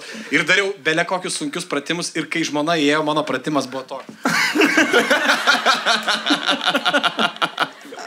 O žiūrėk, tu gali atskleisti, pavyzdžiui, aš neklausiu apie knygą dabar, nieko naujo Taip. tavo, bet e, būna tai, pavyzdžiui, stand-up'e, kad kai rašai stand-up'ą ir kažkokius bairius, tu juos parašai ir būna net ir pilnai parašai iš tikrųjų, bet tu jų nebenaudoji niekur, nes matai, kad jis niekur neįs, jis per prastas ir taip toliau. Taip. Tu turi kažkokių va, temų tokių, jos turbūt, e, kadangi kalbant apie tavo darbą, tau per ilgai užtruktų netinkančią temą išrašinėti, tu turbūt greičiau suvoki, kad tai netinka arba neverta knygos ir taip toliau. Klausimas būtų, kas buvo tos temos arba apie ką galvojai, kad bus kažkas, bet ten per mažai informacijos ar per nelik daug pasakot būtų ir gal kažką gali pasidalinti dabar. Ta prasme, knygai temą tu turi. Ja, Arba šiaip kažkokiam tyrimui, bet matai, kad nėra pakankamai medžiagos ar nepakankamai įdomu. Yra kažkokių tokių atmestų. Žinai, kas vienas dalykas, kai tu pradėjai, nu tu vis tiek pradėjai nuo pavyzdžio e, apie stand-upą, tai realiai yra e, labai panašu į stand-upą, kaip tu rašai knygą. Tai yra, tu nuolat užsira- užsirašinėjai kažkokius dalykus, pavyzdžiui, e, nu nežinau, e, susipyksti su žmona ir kažką, kyla kažkokia mintis, kaip tu jautiesi šią akimirką arba dėl ko susipykot, kaip tu kaltini ją dėl ko nors. tai tu užsirašai tokį dalyką iš karto. Tu dabar jaučiu pykčiasi žiauriai bičiai, atrodai, nes pykstasi, pykstasi ir tiesiog Davidas į telefoną įlenda ir... Ach, tu taip, aš parašysiu apie tai knygoje. tai, ne, bet turiu menį, kad tu iš realaus savo gyvenimo e, kažkokius situacijas, lygiai taip pat kaip ir stand-uperiai, tu užsirašai kartais vienu sakiniu, kartais ateina į galvą išbaigtas sakinys, jis jau clean yra, gražus sakinys, kurį tu gali naudoti, e, nu, tiesiog paimti į copy-paste ir įdėti į, į romaną ar kažkur. Bet dažnai būna stand-up'e, e, mes užsirašom tas mintis ne- nestabilioj, ne, neblaivioj būsenai, kur tu atsidarai tas žinutės, bet atrodo užsirašai kažką genialaus, ten ananasas vandenį. Ir toks, what, apie ką aš čia turėjau atgaminti dabar? Aš žinau šitą. A, Man, blema, nu, man yra tai buvo, e, kad tu irgi nestabilioj būsenoj užsirašai ir galvoji, blema, kaip čia gerai parašiau. Ir kitą dieną aš, the fuck, čia taip, Seniai, taip paprastai Mes skaitėm tavo keletą knygų ir ten kas antra istorija, nu va, nuėjome į barą laus atsigert. Čia kiekvienai tavo knygai būna, kad istorijos, kad tu eini su kažko, kažkuo į barą laus atsigert ir ten knygą rašai tada. Arba... Paskui sako, kodėl tu toks raudonas. ne, tai šiferį kloju, žinau, čia nuo saulės. Matot, ką rašymas su žmogum padaro. Man atrodo, netgi kiborgų žemėje tu pradėjai nuo to, kad tu į barą, tai į klaipę dar kur tenais plauk. Jo, ir čia mano draugai yra, su kuriais mes gėrėm. Ir beje, ir paskui buvom, tu, tu buvai vienintelis žmogus e, viešoje erdvėje, kuris žinojo, apie ką aš rašiau, kur klaipėdai mes nuėjome. Okay. Kur aš nuėjau, tiksliau, vienas. Aš nuėjau į barą, buvo, e, sugalvojau tiesiog šilutį į barę prisigėręs per atostogas, sugalvojau skristi į Maidaną. Ir nuvariau į... Bare tai sugalvoj? Nu jo, bare. Po šešto laus. Ir... Ne, ten buvo po picos ir pir, pirmo gal alaus. Bet... e, Kas, ka, kur tu būtum sugalvojęs po keturių alaus nuvaryti? ir, ir- bet ką aš norėjau pasakyti, ir mes nuvarėm, aš nuvariau, ten aš vienas buvau, nuvariau į, į Klaipėdą, prie, į, Klaipėdo stotį ir tuo metu Klaipėdo stotis buvo renovuojama, man atrodo, kažkodėl dėl kažkokių priežasčių jinai buvo uždaryta. Gal jinai buvo jau suremontuota ir nebeįsileisdavo tiesiog žmonių, kad neišpurvintų. Nežinau. Ir, ir galvojau, ką daryti. Gal svečiai turi atvaryti, tai neįleidžia, kad neišpurvintų. NATO samitai gal jau ruošęs tada. Jo. Tai e, nuvariau į barą vienintelį, kuris aplinkui dirbo. Ir tai buvo, aš tik tai iš Airido sužinojau, kad tai buvo e, kieno ten, toks kino, ne baras kažkoks. Man atrodo, jeigu aš neklystu dabar, aš truputį reikia atgaminti, bet liktais jo, aš pamenu, Nes, kad kalbėjomės. nes, nes tu kažkur sakei, man atrodo, per, per, per podcastą pasakojai, kad, kad, kad tu žinai tą barą. Nes šiaip jo niekas nežinojo. Ir aš dabar kartais, kai įstoti geležinkelį į Nuklaipadas, ten yra tas bariukas, bet jis nebeveikia tik tai. Tai ten buvo irgi tokia keista labai atmosfera, nes taip, mat, kai tu įeini ir tave visi žiūri, tu supranti, kad čia Pataikei. ateina, jo, kad čia ateina tik tai, nu, žinomi žmonės, tipo, kur, kur vietiniai kažkokie. Aš atsisėdau prie stalo, pasiėmiau porą laus. Belikai, Tu vienas buvai. Jo, aš buvau vienas. Aš taip ir sakiau, man atrodo. Vienas buvau. Taip, pasiėmė porą Ne, alaus. iš, iškart po... Kaip ir rungtynės visą. paskui- visą lagaminą laus. Jo. Pasiruošiau birpongui. Jo, ir tada, ir aš šiaip nerūkiau tuo metu. E, tu prasme, ne bare, bet, e, nu, gyvenime. ir, e, ir išgėręs kažkaip užsimaniau parūkyti ir išėjau į lauką. Ir paprašiau kažkokio žmogaus cigaretės, jisai davė, sakau, kas tu čia toks esi. Nu niekas, sakau, čia laukiu autobuso, kur važiuosi į Vilnių, į oro uostą, kur toliau, sakau, į Maidaną. O tu į Maidaną, sako, varai. nu, pasak. Ir atsivedė kitų, sako, tas varo į Maidaną. Tai jie man davė dar vieną cigaretę ir dar pakelį su dviem cigaretėm. O, wow, wow, geras. Tai tu už Maidaną keturias cizas gavai, ne? Taip. Aš esu keturias cizas gavęs už tai, kad išgelbėjau vaiką kažkada. E, What? Kaip? Skęstantį. Skęstantį. Žmonės į tave pažiūri ir galvoja, kad jiems cigariukų reikia labai. Gerai, raudonas visas toksai. Pasakok apie vaiką. Kaip tu išgelbėjai? Skestinti. Mes buvom su draugais prie, e, e, žinai, naujo kurių prūdą. Jo, jo, jo. Nauji prie naujo kurių prūdo buvom. Ir Aš panašiai. net neįsivaizduoju, ar Lietuvoje tai yra. Čia prie pervažos, šilutį. Ai, nu. Ai, prie pervažos. Nu. Tu esi buvęs tą toilę šilutį. Nes mes, nes mes galvom, kad šilaliai čia susimaišėm. Ai, ai, ai, ai, ai. Tai ir žodžiu, skendo vaikas, tiesiog ir aš iš šokų išgelbėjau jį. Ir tuo metu mano draugai gelbėtojai dainą dainavo ant kranto būdami. Ir, tai, ir tas vaikas, aš kai jį ištraukiu, bet jis tikrai skendo, jis su tokiu, nu, panik, desperacijoje, kaip čia apibūdinti šitą. Ir, ir paskui jie, tie keli vaikai, kurie buvo ant kranto, atnešė St. George cigarečių. Taip, čia true story, beje. Raudono? Ką? Raudono St. Džordžo. Nu, jie pavienės jos buvo, bet man atrodo mėlynas. Bresa, Raudonas, raudonas St. Džordžas buvo žiauriai, žiauriai stiprios ir jas buvo pirmos mano pirktos cigaretės kada nors. Aš nesupratau jo. nieko apie cigaretės ir aš pirmą kartą nusipirkau, kai aš važiavau kažkada studentas būdamas iš Kauno į Vilnių ir nusprendžiau prieš traukinį, e, o ką, manęs tėvai jau turbūt nebeatsekė iki Kauno. Galimai. Galimai neatsekė, varau davai nusipirksiu, bet aš nežinau kokiu, aš tiesiog parodžiau į tas, nes mes prekiaudavom tokiom. E, ne, ne, viskas gerai, nepardai šeimoje. Ir e, aš žinau, tas pa- atpažįstu tą ir žinau, kad daug pirkdavo į, į tų St. Džordžo raudoną. Pasėmiau tą raudoną St. Džordžą, surūkiau vieną cigaretę ir aš jaučiu, kad aš nepainu niekaip, tiesiog kojos akmeninės tapo mhm. ir aš žinot, kaip į traukinį įlipau, tiesiog stovi traukinys ir aš fucking užsikėliau vieną koją ir tada įsikėliau visas ir tik tada jau mane tiek sudaužė viena cigaretė, kad... Ble, bet va čia ant kiek parodo, kaip neturi imuniteto. Pavyzdžiui, garžduose. Tai St. Džordžo cigaretės, latriukai dar tą nebaigė surūkyti, jis kitą traukia ir tą pridega, tą išmeta ir naują užsitraukia. Jo, jo, jo. Šalia priglaudžia ir toliau dega, ne? O, o žinai, o, o būdot, jis turėjo tokį posakį, numesk parūkyti. Ne. Ne. ne. O pas, Pas mus būdavo. Pas, pa- būdavo, Jo. ne? Tai va čia mūsų kraštų posakis yra numesk parūkyti, reiškia, kai rūkai ir palieki. Ir, ir Ai, pas mūsų buvo palik ant raidžių. A, nu, nu jo, buvo ir šitą, palik paskaityti dar būdavo. Palik paskaityti. Čia intelektualiai, bravo. Čia rašytojų jau balas toksai daugiau. Palikite Jau tada buvo aišku. jo, kai klaus tėvų, kada jums buvo aišku, kad Dovydas bus rašytojas? Jisai mums visą laiką sakydavo, palik paskaityti. Dievas čia paskas. Sakydavo, palik paskaityti. Tai, tai, žodžiu, tas numes, pa- e, numes parūkyti, mes buvom sugalvoję tokį bairį, kad e, literaliai numes parūkyti. Pavyzdžiui, tu turi tipo, taip negali paduoti. Ai, Tu turi ir mest ant žemės, ir kitas turi pasimti parūkyti. Bet čia kokios zonos parengtos, aš laukiu, fuck. Pavyzdžiui, žinot, kas yra padaryti grūšę? Jo. Kur už šito Už už galo. galą, ne? Jo, jo, jo. Jaunimėlis nežinojo tokių dalykų. Zuikių bažnyčia, What? žinot, nežinai Zuikių bažnyčios? Padaryk ant jo zuikį pažydžią. Nu, nori ant tavęs Padaryk, padaryk. Ir ten į bambą, į pilvuką tą... Zuikį bažnyčią. Nori, kad aš tavo Zuikių bažnyčią padaryčiau? Tu nori? nori. Davai, Jeigu- vienas jeigu kitam tu tik leistum padarykim.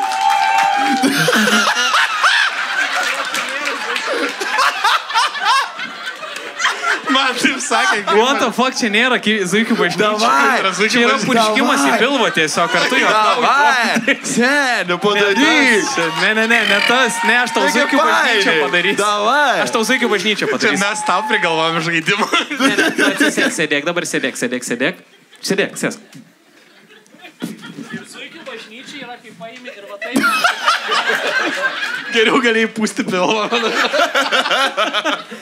Wow, kaip tu pasirašai dalykam. Tu belia kaip greitai pasirašai dalykam. Dovydai, tu turėtum stabdyti šitą. Tu labai dėl to kentėsi ateityje.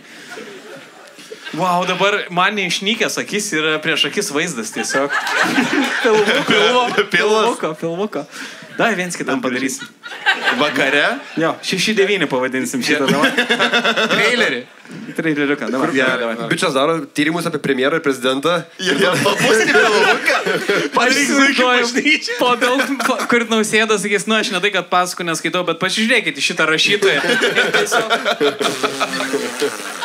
Ir tu juokies labai žvengi. Kur tokia birutė, nu nafik, Dovydai, nu kam tu darai šitos dalykus? Beje, čia birutė turėtų būti. Esi kur nors? Ne, va tokia ir draugė. Tai pamačius tai, ką aš padariau, daug Neprisipažinai. Nebeprisipažinai. Žinai, dabar draugam iš šono nebandykit išduot, kad aš čia dabar esu. Ar rimtai čia yra birutė? Nu, Bent jau taip turėtų būti. Birutė, ar tu čia? Ne. Ne. Gerai, ar tu dabar matai birutę, Dovydai? Ne. Jo, į čia. Ir toks. Va, jinai eina pro mus. Ok.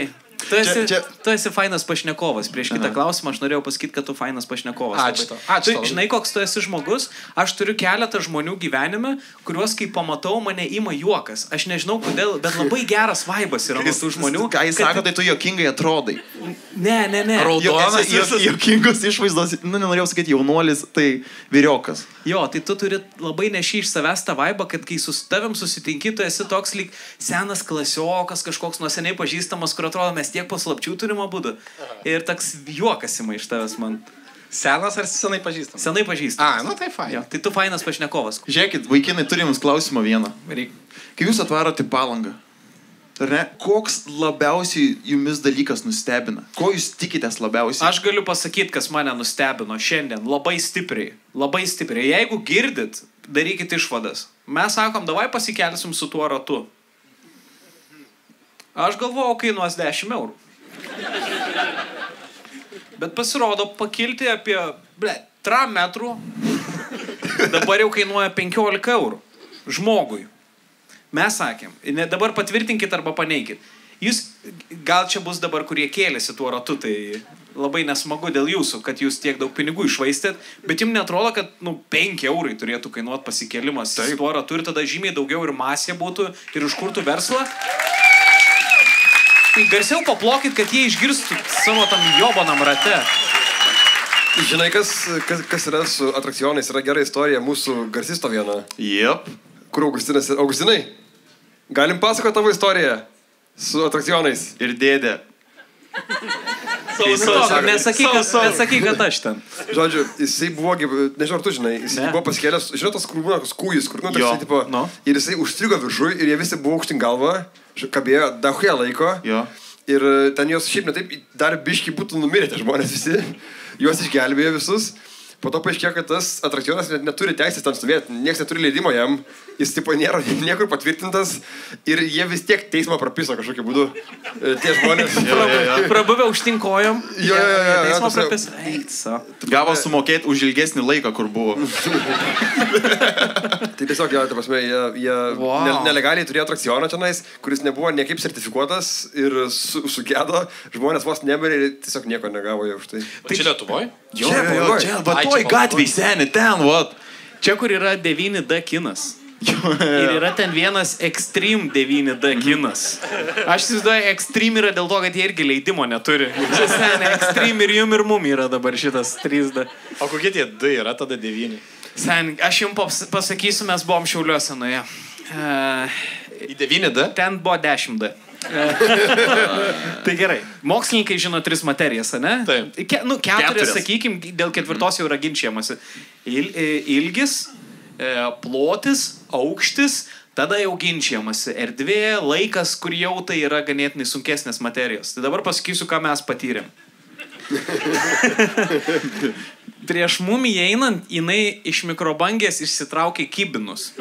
Iš, ir ta mikrobangė, ten yra kokios šešios vietos tam vagonėlį, ar keturios gal ten buvo. Ir mes, mum, mes visą laiką kibinus užuodėm. Mes spėjom, kad čia vienas iš D yra. Jo, jo, čia vienas jo. iš D. Tada kažkurio metu tiesiog iš, ji- jinai stovėjo šone ir jinai su tuo kažkokiu Purštukam valyti purštuku, buvo. jinai mu- mus purkšt pradėjo, Aha. kur mums čia, tu išveičia mus, ar čia D yra, dar vienas iš D. Jo, ir nu, ten labai blogai, ten buvo, pur, tada kėdės purtit pradėjo. Bet irgi prieė ir purto kėdė, taip tiesiog. Ar patinka? Jeigu, jeigu purto į šitą pusę vienas D ir į šitą pusę dar vienas D, jeigu purto. Tai aš nežinau, mes, ai, tai buvom kažkada dar su klajumu, prisimenu, kad nuėjom Klaipėdoje ir uh, 9D buvo ten. Ir abu prisėdot ant kėdės. Ant vienos kėdės. Fainai, kad tu taip laisvai minėjai. ne, mes geruose santykiais esame. Tai buvo, buvo taip, kad mes tipo nueinam ten 9D ir mes tokie... Žiūrėkit, o mes a, šiaip čia toks klausimas, mokslas žino kaip ir tris va tuos D. A, Kur yra, kur, kur dar šeši? Ir jis sako, oi, žinokit, čia savininkės reikia klausti. ir jinai mums duoda kortelę ir ten e, paštas buvo e, 5D kinas, eta, eta Gmail gal ar kažkas tokio, kur net kortelė biškiai jau pasenus. Per, matai, per tą laiką per du metus dar 4D išrado. Tai Jie paprasčiausiai labai li liberaliai į du žiūri. Big D. Nu. Man tai vienas keiščiausių dalykų yra, bent jau atrodo, aš nesuprantu kaip, bet kaip palangos verslininkai supranta, kas bus trendė iš elektrinių važiuojančių prietaisų. O jo, čia yra visą laiką, kiekvienais metais Kur? dalykas. Nenu, nesuprasi, ką rasi. Ble, Prieš kokius... ką iš čia sakot? Kod- Kodėl jūs tą sakot? I- Ble, koks tu senas, eik tu nakto iš to, reikia paaiškinti. Žiūrėk. Ne, aš save kviečiau čia. Sorry, sen. Bet sen, bet ne aš sutikau. E, tu nepastebėjai, kad palangoj, bet dabar jau aprimo, bet vienais metais, kiekvienais metais tu gatvėse pamatysi kažkokią kitokią transporto priemonę. Būdavo tie, kur tarp kojų vien, vienračiai, segvėjai būdavo, e, arkliai tempia žmonės, žmonės tempia žmonės. Būdavo, tikrai būdavo, tikrai būdavo, dar ne taip seniai. Žmonės tempia Žmonės tempia žmonės. Žmonės tempia žmonės. Kaip karietoj, tipo pasiema savo į dvi rankas ir tempia tiesiog. Rimtai? Taip, aš šventoju, manau, kad yra dar, iki dabar. O čia nėra, čia, čia nėra vergovė, tiesiog. Jo, Taip, vergovė. Aš tikiuosi, kad gauna daugiau negu 7 eurus už valandą. Kitu atveju vergovė, tikrai. 10 eurų. 10 eurų, 10 O tu kur sėdėta, kur tempiai?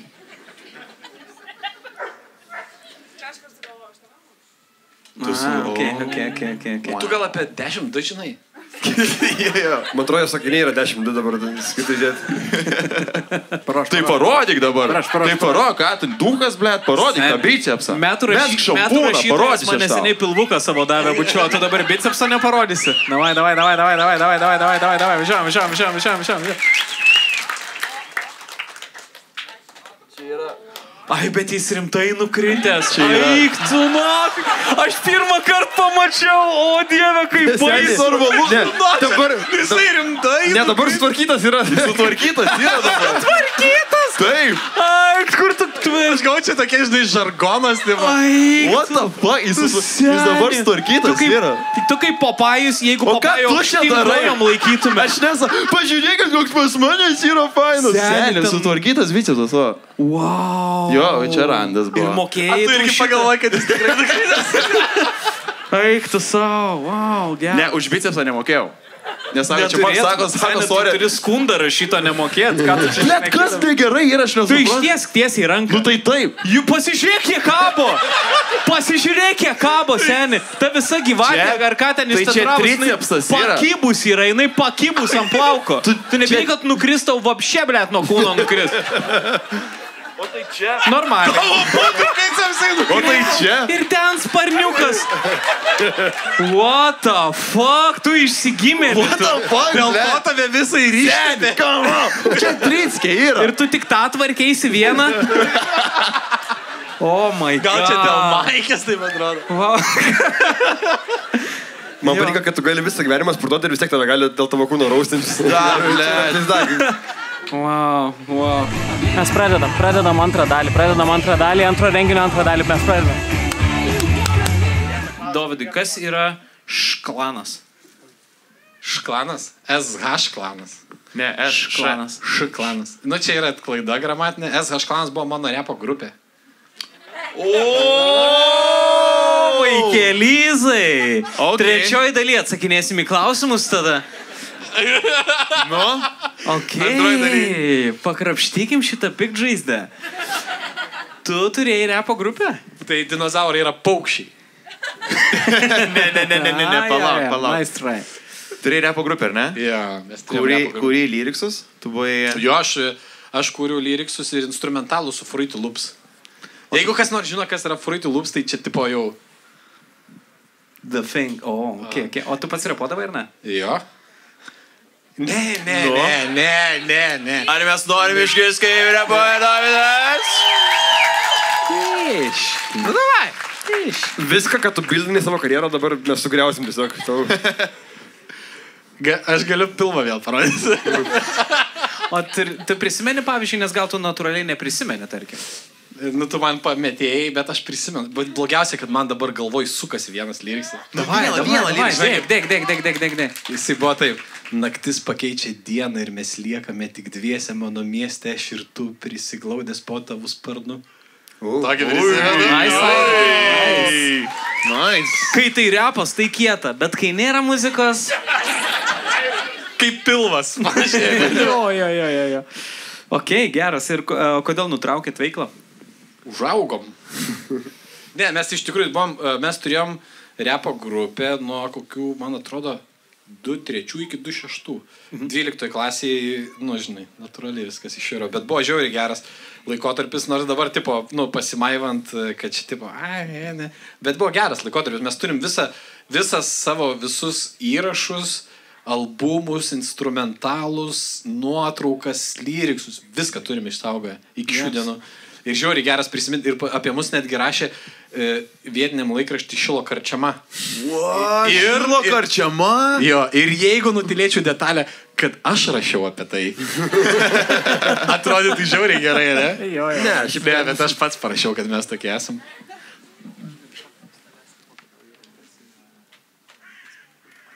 Galiu? Tau yra kas nors grasinęs? Ne. Ne, e, tu kalbėjai apie Komskį? Jo. Jo, tai e, buvo, buvo čia e, mano, Šilo karčiamai buvo mano vis, visa žurnalistinė karjera prasidėjo Šilutės laikraštį Šilo karčiama. Jisai taip vadinas pagal senąjį miesto pavadinimą. Ir, ir mano pirmieji žurnalistiniai tyrimai buvo apie Komskių klaną, turbūt galim taip pasakyti. Nežinau, turbūt kas yra vietiniai, tai netgi ir iš palangos turbūt yra girdėję apie Komskius.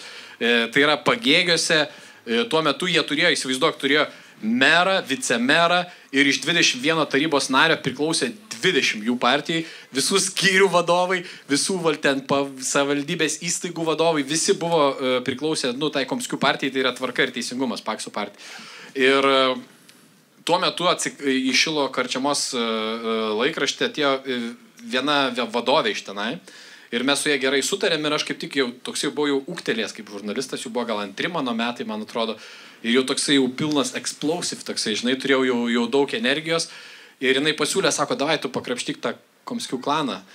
Ir tas nėra, nu dabar kaip pagalvoju, aš tai taip nesiūlyčiau žmogui, kuris jam yra 20 ir kuris neturi jokių patirčių, bet, e, nu, pradėjau ten, tai, tai buvo mano realiai tyriamosios žurnalistikos tas e, toksai pradžiamokslis, nes mes rašėm, pa- pats, pats žoskiausias buvo straipsnis apie tai, e, kad vienas iš, e, iš Komskių to klano atstovų valdė, iš, išsinuomojo žemės tose vietose, kur pernešinėjama kontrabanda. Nes tie žmonės buvo siejami, nu, buvo taip kalbama, kad jie yra susijęs su kontrabanda. Komskiai? Wow. Taip sako, taip sako. Tai va, ir, ir buvo tada tokia situacija, aš negaliu tvirtinti šimtų procentų, kad tai buvo tiesa, bet mano kolega perdavė, kad va ten išgėręs vienas iš tų žmonių, sakė, nu jisai tai sava mirtim nemirs, jeigu čia toliau rašys. Jis, ta prasme, wow. iš partijų, iš klano kažkuris žmogus Taip. taip kalbėjo apie 20 metį jauno žurnalistą, kad Taip, tas taip. biški pakrapštė ir tipo... Jo, bet ten nebuvo biški, ten buvo šilo karčiama, buvo išmetę iš pagėgių, literaliai. Ta prasme, kadangi, žiūrėk, jie valdo patalpas, kur yra parduotuvės, tai jie pasako, neprekiaukit šilo karčiamą ir jie neprekiauja. Ir buvo toks laikas, kai mes važiuodom su šilo karčiama ir pardavinėdom žmonėm tiesiog gatviai. Ir žmonės, tiksliau. Atvažiuoja Komskis. ir, ir, ir, ir, ir prenumeratorę mes nežinome, ir man labai įstrigo vaizdas, kur visiškai true story, kad mes ateina žmogus, mes duodam laikraštį ir jis taip apsidairo, paima ir pš, nuvaro, žinai, kažkur gatvę. Sunku, pat... wow. prieš kiek čia laiko buvo? Čia buvo, tu turbūt, palauk, 2000 kokie 8, 9, 10, 10 aš jau į Vilnių atvažiavau. Tai buvo tokie treji geri metai ir buvo tikrai labai daug įtampos, prisimenu, mes važiuodam stebėti rinkimus, nes jau tada buvo balsai perkami ir e, mus sekdavo. Mūsų tai yra ta, nu, va, ten šilo karčiamo žurnalistai mes važiuojam ir mūsų seka e, vietinis e, fizinio mokytojas. Wow. Ir, ir toksai išsikačialinęs, o tuo metu, žinai, buvo pagėgiai, dar vis garsėjo kontrabando kon- ir, ir buvo ta istorija. Atsimeni, aš tau pasakau. Ir aš paskui prisimenu įsiblaivęs. Nu, tavai, nu, žinai, va, Ledol, tu taip pakišinėjai visus iš paskos paso. Na, na, na. Savo mirtim nemirys, ar ne? tai e, išsiblaivęs galvoju, a jūs ga- nepagalvojat, kad aš prikūriau, bet čia buvo true story, kad atvažiavo Adamkus, jau buvo ant tiek nenormali situacija kontrabandos pagėgiuose, kad atvažiavo Adamkus ir parodė Adamkui sandėlį, kur buvo ką tik sulaikytos fūros cigarečių, nu tipo kontrabandininkų. Adamkus išvažiavo ir praėjo dvi savaitės ar ten savaitę ir visas tas fūras kontrabandininkai nupysdino tiesiog tas pačias, kur Adamkus atvažiavo ir taip pagalvoja, ant kiek jie jautėsi nenugalimi, kad prezidentas atvažiuoja, jam čia taip suorganizuoja tokį pagavimą kontrabandos ir jie tokių šlapių skudurų, pau, viską wow, nupysdino tiesiog. Wow. O prezidentas atsakė į tai kažką ar ne? Aš žinok, nebeprisimenu, bet, e, bet, e, bet, tada, bet tai buvo, jaučiu, tam tikrą prasme jau buvo too much jau. Ir tada prasidėjo ta tokia, tada prasidėjo ten detektorius eisminius montuoti pagėgiuose, e, kurie fiksuoja, jeigu kažkas juda, e, žinai, tipo žingsnius fiksuoja ir, ir jie jau modernesni netgi gali atskirti, kur gyvulys eina, kur žmogus. Ir jau po to laiko kontrabandos gerokai sumažėjo. Ir dar ir Rusijoje kainos, man atrodo, cigarečių iškilo. Mhm. Bet aš kai, tada, kai jau aplink Lietuvą, e, pagėgiuose užsukau pas vieną bičią ir mes leidom vakarą labai smagiai. Ir jisai sako, ir tuo metu žinau, kad rengeno aparatai buvo, kurie šviesdavo fūras, pavyzdžiui, ir panašiai. Ir sako, sakau, tai gerai, tai kaip pavyzdžiui dabar, tarkim, pergabena, kai yra rengeno aparatas. Sako, seniai dar lengviau, rengeno aparatą gali išjungti. Va taip tiesiog, wow. sakė, darosi ir vyksta. Sunku patikėti, bet, bet tai, žinai, tai buvo prieš septynis metus gal. Nu tai jo, tai panašiai taip ir buvo. Ai, ne. Jo, jo, Tu- čia vėliau, čia vėliau mano buvo. Jo, Jo, jo. Eik, tu, įsivaizduoji, man atrodo, kad aš šilo karčiamoje prieš septynis metus dirbu, o tai yra prieš septyniolika. Eik, tu savo, tai tau dabar tram septyni, o jesus. Ne, kiek tau? Trim šeši. Ai, tai jau, tai jau kap, tai sulauksi dar tram septynių gal vis tiek. Sulauksi dar. Aš turiu žiauri gerą klausimą. Ja. Labai geras. Kuri kėdės atrama priklauso tau kino teatre po perkūnais? Jis taip parašęs. Ah, Jo, a, Geras čia, čia, yra, čia yra, man rodos, tas dalykas, kur tu ateini ir jau prasideda kova. Čia, čia tu turi išsikovoti. Aš tu nemanau, turi aš manau, pirmas kad mes tai tipo. galim civilizuotai padaryti. Pavyzdžiui, lėktuve, kas Jim Jeffries, Jeffries yra pasakęs tobulai, lėktuve priklauso tau, e, jeigu sėdi prie lango, tau priklauso, e, tarkim, čia langas yra, ne, tarkim, tu langas. Ir e, tarkim, langas tau priklauso ir šita atrama. Tas, kuris sėdi kitam šone, tau priklauso e, ta atrama ir, Ir tada, vieta kojoms. Ir tiesiog vieta kojoms, nes tu gali ištiesti ant tos tiesios vietos. Tu sėdi per vidurį, vadinasi, tau priklauso abi dvi šitos atramos, nes tu neturi nieko iš esmės, Dovydai. Labai asmeniškai skamba, bet tai tiesa. Tai kino teatre aš manau, kad turėtų būti gražus susitarimas, kad tu negali imti abiejų, nes kažkas jau tikrai nuskriaustas yra. Tu imi vien, vienos pusės atramą. Bet kurią? Dešinę, aš irgi manau dešinę. O... Jo, tai jam poho, ne? Jisai toks, nu, nu, o ką man, tai sako. Ne, tai tas, kuris tau sėdi iš kairės, paima šitą dešinę tiesiog. Dešinė, o tas, kuris kairiausias, jis turi ir kairę, ir dešinę. Bet čia Nu, viskas tai remiasi lemia- tokia... Čia tu parašai tą klausimą, na, jaučiu nukentėjai. Ir aš ateinu ir, blėt, užimta nahui buvo. Ir kurią man imt, man tai kurią imt, tai kairę ar dešinę. Tai kampinis, kampinis gauna dvi, nu tai bet... Bet tai čia ir yra tame, kad kas jums sakė, kad gyvenimas turi būti teisingas. Čia geras pointas labai. Nu, čia man atrodo, tau skvernelė šitą pasakė, kai knygą rašėjai, ne? Komskiai. Uh, Dovydai, jei turėtum 11 taškų, kaip juos paskirtum savo žmonai ir birutai? Labai geras klausimas. Wow. Uh, uh. O biurutė, tu esi čia? ne, aš... Tai keičia kažką? Aš skirčiau visus 11 žmonai. Bet, bet biurutė suprastų mane. Ir tavo nuomonė, tai birutė nulio verta yra, ar ne? Gerai, 10 taškų žmonai. Tai, ai, tai Vieną tik tai, ne? Aš turiu kitą klausimą. Kol aš, ne, kol aš neišlyginsiu, vis... Ne, gerai, 11 žmonai? O žmona savo spėjų yra šiandien čia. E, ne, nėra žmonos. Seni. Bet biurutė turėjo būti. 11 biurutį?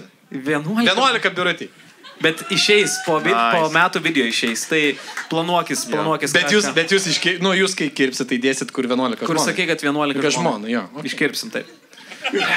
Ne, mes iškirpsim, iškirpsim kai visi sako, eik nahui ir sakysim žmonai. Birutį į 11. Wow. Wow. Geras. Mes rimtai, mes tau iškirsim ir persisim, gerai? Norėsi dalinkis, norėsi ne. Gerai. Jeigu reiktų vykdyti nusikaltimą, kurio daugiau niekada nebebūtų, koks tai būtų nusikaltimas? Kurio daug, kad nusikaltimo nebebūtų. palauk. Ne, jo, nu, tipo, jeigu kad- vykdyti nusikaltimą, Už kurį nebaudžiamas, aš kaip jo, suprantu. kurio esi. daugiau niekada... Tu įvykdai nusikaltimą ir jo... Ble, čia yra, žinot, kokia sąlyga, jeigu sustotų laikas dabar, ką darytumėt? Aš esu apie tai galvojęs. Visi bernai yra apie tai galvoja. I- Bet aš po to jau, mhm. jau galvoju kitą istoriją. Ja, kur... Ir aš Gal galvoju, rašyčiau knygą, na. ne, aš galvoju, kaip... Jisai, jisai Turėčiau laiko Žinai, ką- pagaliau. Žinai, ką daryti, Dovydas, jisai blakių visiems politikam prikištų. Aš žinai, ką, aš, e, aš galvau, o tipo, nu, vad gerai, sustabdai laiką. Ir, nu, nu tipo, turiu nužudyti Putiną. Ir ką tu darai? Kaip tu nuvarysi tą Kremlių? Nu, ateini, paplaiva. Kur eisi? Ką tu, kur tu jo ieškosi? Jeigu jis dačiai kokį nors. Ir aš tada galvau, kad vis tiek tie visi, e, nu, tada galvoju apie prikošiną, bet nu, gal kiti dabar važiuoja pas jį tą dačią ir galvoju, įlyšiu į bagažinę ir, nu, nuvažiuočiau tiesiog. Tai jis nevažiuoja, Nevažiuoja, laikas nevažiuoja, tu vienas tiesi. Kas Ne, ne, ne, aš vėl paleidžiu tą laiką. Tai tu jo nega... Nu ir kas tada? Ir važiuoja. Paleidi laiką, atvažiuoja, išlipi, Jo. bet laikas eina. O, papa. Ne, ne, ne, ne. Jeigu bagažinė kas daro, pyst vėl sustabdau. Nu, ką tu čia žaidži su laiku? What the fuck? What Tau niekas nesakė, kad tu gali valdyti laiką, tu sustojo laikas. Bet, ma, bet aš galiu, aš turiu tą knopkę. Jisai pildomų sąlygų, tiesiog. Tai jeigu tu taip gali valdyti, tai tiesiog gali... Gerai, aš norėčiau tada, kad kažkas nužudytų Putiną. Va taip va tiesiog gali daryti. Yra sąlygos tam tikros. Čia lygiai taip pat, kad pavyzdžiui, kaip kiti ten sako, šiaip bernai pat labai gerai diskutavo, kur tu norėtum nusikelt, tu gali vieną kartą nusikelt kažkur ir tada paspaudi mygtuką ir grįžti ir daugiau niekada ten negali sugrįžti į tą, į tą kur nusikėlė. Kur tu, pavyzdžiui, norėtum nusikelt? Gali belė kur. Istoriniai įvykiai visokie, vietos kažkokios, kažkoks dalykas, kuris atidarytas buvo, belekas, kur norėtum nusikelt? Nu tai tą bagažinę.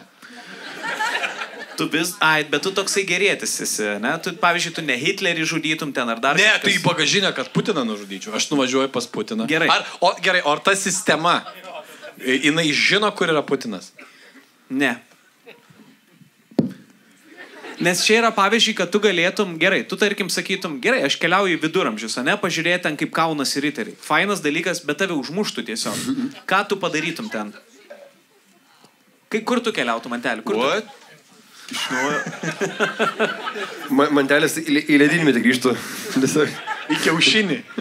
Į keutą, blekai zaibys trynių būcenį. Tu? Tiesiog tas... Bet žinai, kas yra, kad tipo, tu grįžtum nužudyti Hitlerį, kai jis buvo mažas, Nu. tu tiesiog tu vaiką užmuštum. Jo, jo, jo. Tiesiog Ir tu praeitį. bandytum aiškinti, bet seniai jis ten tu tapo, nahu, paskui ten dar kažką. Ne, čia žinai, kas yra, tipo, jum, jum gali atrodyti, kad jeigu aš grįžčiau ten labai labai seniai, tai Jo. aš išradimus visokius padaryčiau. Ką, pavyzdžiui, Grimali, tu padarytum? Kokį išradimą tu atkurtum? Ką atkurtum? Beša, nieko, seniai, nieko. Tos, kur spaudė celofano. Bet tai tu, žinai, kaip sukurt? padaryti, jo. Tai, bet tai aš ne vienas būčiau.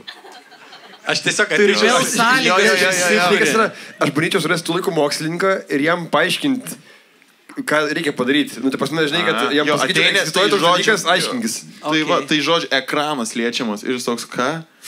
tai tai lieti, keičiasi. Būtent, būtent. Jo. Ką tu galėtum padaryti, žiūrėk, pas mus yra taip, kad aš turiu tokį dalyką, nežinosiu, kas telefonas yra jaučio, ne? Jis toks nežinau. Nu tai va, tai mes su juo sakom kažką ir kitas girdi užžymiai toliau.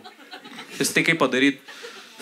Va, va ką aš, žinau, ką aš Ant du, viduramžius. du, du puodukai ir ta siūlas. Va, čia tavo telefonas. Va, va, čia telefonas. Taip, taip, taip. Aš kartais, žinai, ką pagalvoju, kartais pagalvoju, jeigu aš galėčiau, tipo, į viduramžius atvaryti su šiuolaikinė kariuomenė. Jo. Ir Šaudyti dažnį. What the fuck, Ne, seniai? ne, aš esu šitą irgi pagalvojęs. Tikrai, tikrai. Ir, ir e, man visą laiką dėl amunicijos kyla klausimą. Jo. Nes jį kažkada Šaudai ir viskas. Jo, ir viskas baigės. Grįžti atgal. Nebent, nebent. turi pultelį, tu paspaudi, pipiu, grįžti atgal pasiemi, pupų. O tai kodėl aš negaliu turėti pultelio, sustabdau laiko? Nesustabdau laiko. Čia kitas žaidimas. Dovydai. Ar spės Dovydas persikraustyti į Šilutę iki tol, kol pilnai nupliks grimalis? Lėt, aš tavo smė... plaukų laikrodis esu. Jo, jo. Žinai, kas yra? Grimolio prekimas yra kaip potviniai šilutė, kur kasmet biški kažkas atsir... ir po to vėl atgal. Ir vėl atgal. Kur... Tiesa. Kaip tas yra, žinai, tiesa. kažkoks yra tas pasaulio grėsmės laikrodis, ant kiek mes prie pasaulio pabaigos esame. Jis Irgi taip. Jo. E, kas toliau? Turit permogoti su dviem merginom, bet bendras jų amžius yra 30 metų. Kaip skirsti amžių?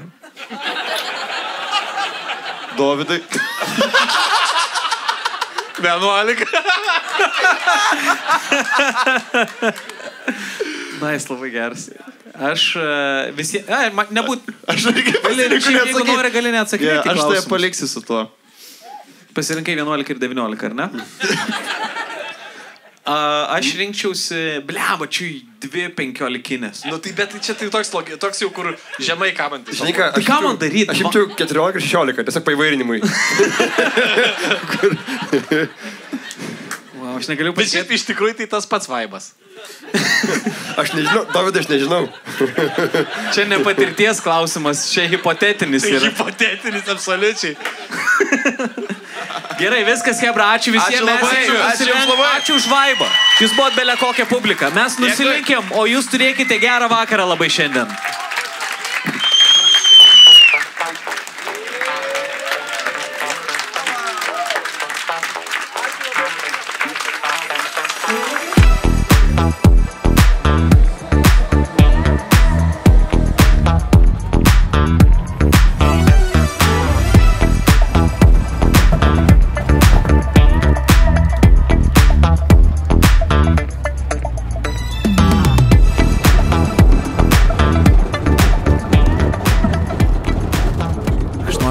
Noriu pasakyti, kad šiandienos abu svečiai, tiek Dovydas, tiek Mindė, ble, kokie geri svečiai buvo. nu, Kuzė ir Panceros buvo belė kokie geri svečiai. Visiškai pajuto komandiruotės vaibą, buvo taubulas vakaras, o mes po to grįždami, tu, tu juokauji. Pas nufilmuok dabar, kad būtų. Čia gėlės, ne? Taip. Nu. Buvo. Buvo gėlės čia. Ryčka. Gali neiti, nes šviesas čia turim. E, ne, tai tiesiog diskutavom, o jeigu, pavyzdžiui, komandiruotė tipo plėstusi, kas būtų ketvirtas komikas, kurį mes paimtume kaip dar vieną bičią kartu, bet dabar neatsakysiu šitą klausimą.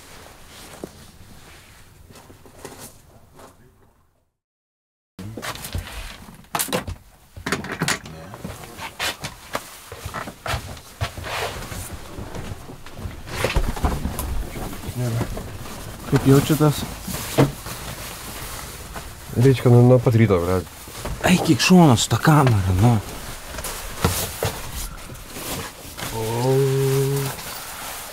Nežinau, kryčką, žinau. Labas rytas. Labas rytas. Labas rytas. Šiandienos pirmas kadras.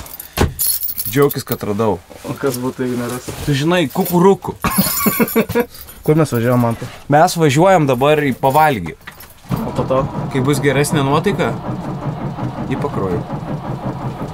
Pese valda. Jeigu važiuos. O. Varam į pakruojo dvarą. E, Savaldui Asaičiui šiandien bus apie 1500 žmonių. Bus rekordas. Ever. Interval. Dabar dar tik 300 yra, tai reikia kažką daryti. Jis sako, netiesa.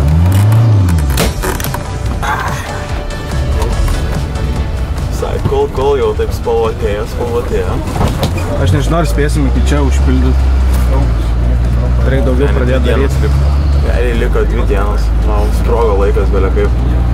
Atrodo, kad ta pirma diena, kur išvarėm, jau buvo prieš... Man šiaip atrodo, kad mes ilgiau jau keliaujam. Man atrodo, kad ta pirma diena buvo prieš kokias 3 savaitės. Jo. Bet at, labai keista, kad jau galas realiai. Kai visą visada, laiką. kai mes šnekėjom, kai ateina ta diena, kur tu jos net neskaičiuoji dabar, Jo, jo. bet tu skaičiuoji apie likusią, šitą jau viskas out. Nu nieko, pasiemam geriausią. Pasiemam. Vaibuką iš tų dienų. Jo. Įleisim vaibuką. Dabar varom valgyti. Ai, beje, skambina iš garždų. Sakė, kad labai patiko viskas. Sakė, padėkojo, ačiū. Tai labai malonu. Kad po renginio. Bet po renginio paskambina dar ir pasako, kad tipo, labai dėkui ir Asmeniškai. varėt. Jo, jo, labai labai. Gali gal ateiti lysti nuotraukas? O manęs reikia? Jo, jo, su kamera gali būti.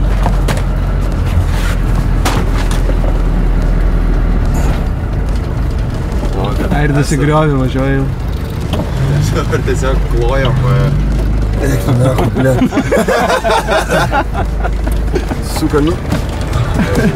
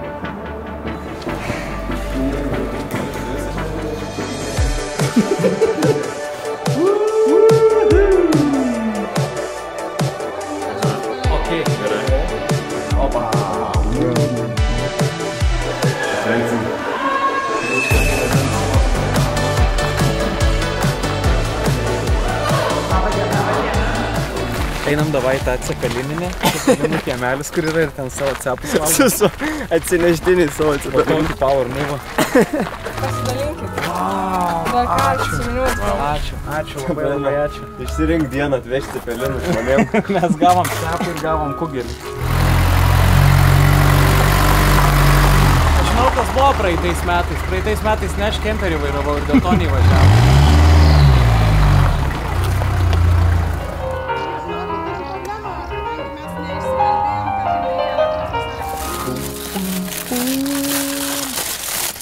Wow. Čia belė kas yra. Žodį grybus. Dar cepekai buvo panešioti po stogą pakruojo dvarą. Ir spėjau, kad kugelio gabaliuką kažkas buvo numetę. Nerodysiu dabar. Atsisuk. Jo. Ne? Nu jo, ten. Bet nedaug, ne? Ne, ten. Nu realiai. 8 cm ir yra daug. Ryčka. Labai.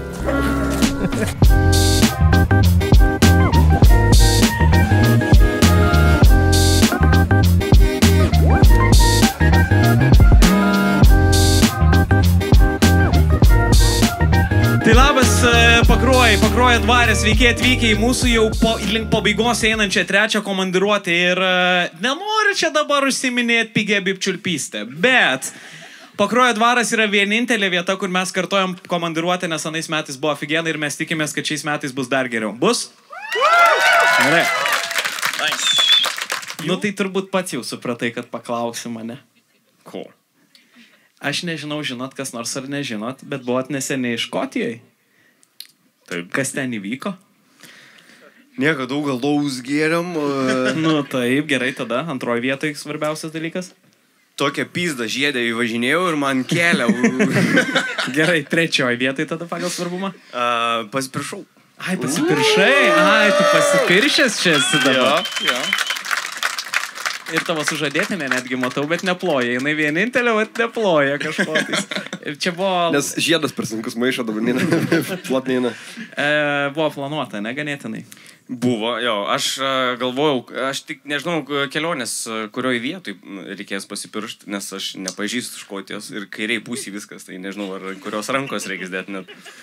Bet e, jo, aš ilgą laiką planavau, bet e, buvo du variantai. Arba kepaliuose, prie Joniškio kaime, arba Rinktinė Škotijoje. čia jo yra seniai.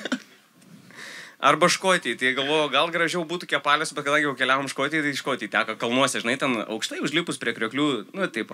Aha, okay. Kur yra kepalių laukai augantis su kviečiais ir kombainais, kur Škotija su savo kriokliais ten.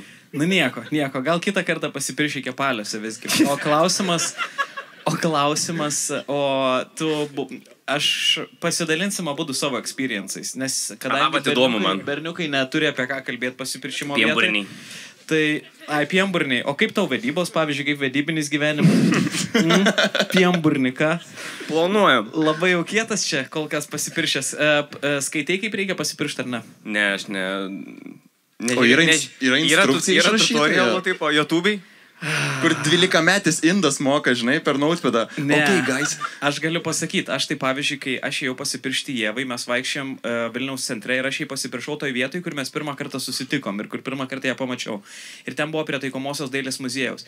Bet kai mes jau ėjom link ten, aš jau su kupšė, kupšė buvo žiedas, gerai galvoju, aš, nu, man reikia pasiruošti biški išsiem žiedą. Sakau, Oi, bleba, gal kažko atsigeria, galvoju, gal, gal, gal nueisi į Narveseną nupirkti kažko. Sako, tai tu pats negali. O tu, sakau, negali. Mes dar... Ir pradėjau pyktis tiesiog. Apsipykom dar biški prieš. Bet jinai nuėjo nupirkti, gerti ir kol jinai nuėjo, aš supratau, kad aš niekada nebuvau taip toli da galvojęs. Aš visą laiką bū- būdavau da galvojęs, kad, okei, okay, piršios ir jau tą momentą, kur jinai taip ir mes ten apsiverkėm ir panašiai. Bet aš proceso negalvojau. Ir toks yep. gerai, o ant kurio kelio klauptis reikia? Mm? Ar ant, nes ant abiejų atrodo, kad maldauji, kad sutiktų jinai. tai buvo rimtas straglas. Tai kol jinai nuėjo į Narveseną, aš iš karto e, vedu, tipo įvedžiu į Google, kaip pirštis. ir man išmetė kažkokį, bet jinai užžiūri pareidinėje ir toks, e, ir ten kažkoks buvo, nežinau ką aš atsiverčiau, bet striokė buvo atsiverčiau ir ten svarbiausiai būkit savimi ir toks jau matau pareina, blėt, nieko nepadėjot man apšė dabar. Tai buvau savimi e, ir, ir, e, bet viskas buvo... Ir kol piršais dar tutorialas YouTube Indo balsas. First you got to open the ring. Tai, žodžiu, jinai sutiko ir viskas buvo gerai, apsiverkėm. Kaip buvo jum? Uh, pirmas dalykas sutapo tai, kad kupriniai žiedas. Čia jau toks uh, mūsų kartos dalykas. Ir kas man buvo, uh, aš visą kelionę pačioj pradžiai labai keistai ilgiausi aplink savo kuprinę. Aš nežinau, kaip Gabi atrodė iš šono, bet tarkim, mes tu- turėjom lagaminą, jos kuprinį ir mano. Ir jis sako, kur pakrovėjai, sako, tavo kuprinį. Ir aš, aš paimsiu. Tai kaip e, policija atvarė ir tu narkotikų kupšiai turėjai. Jo, jo.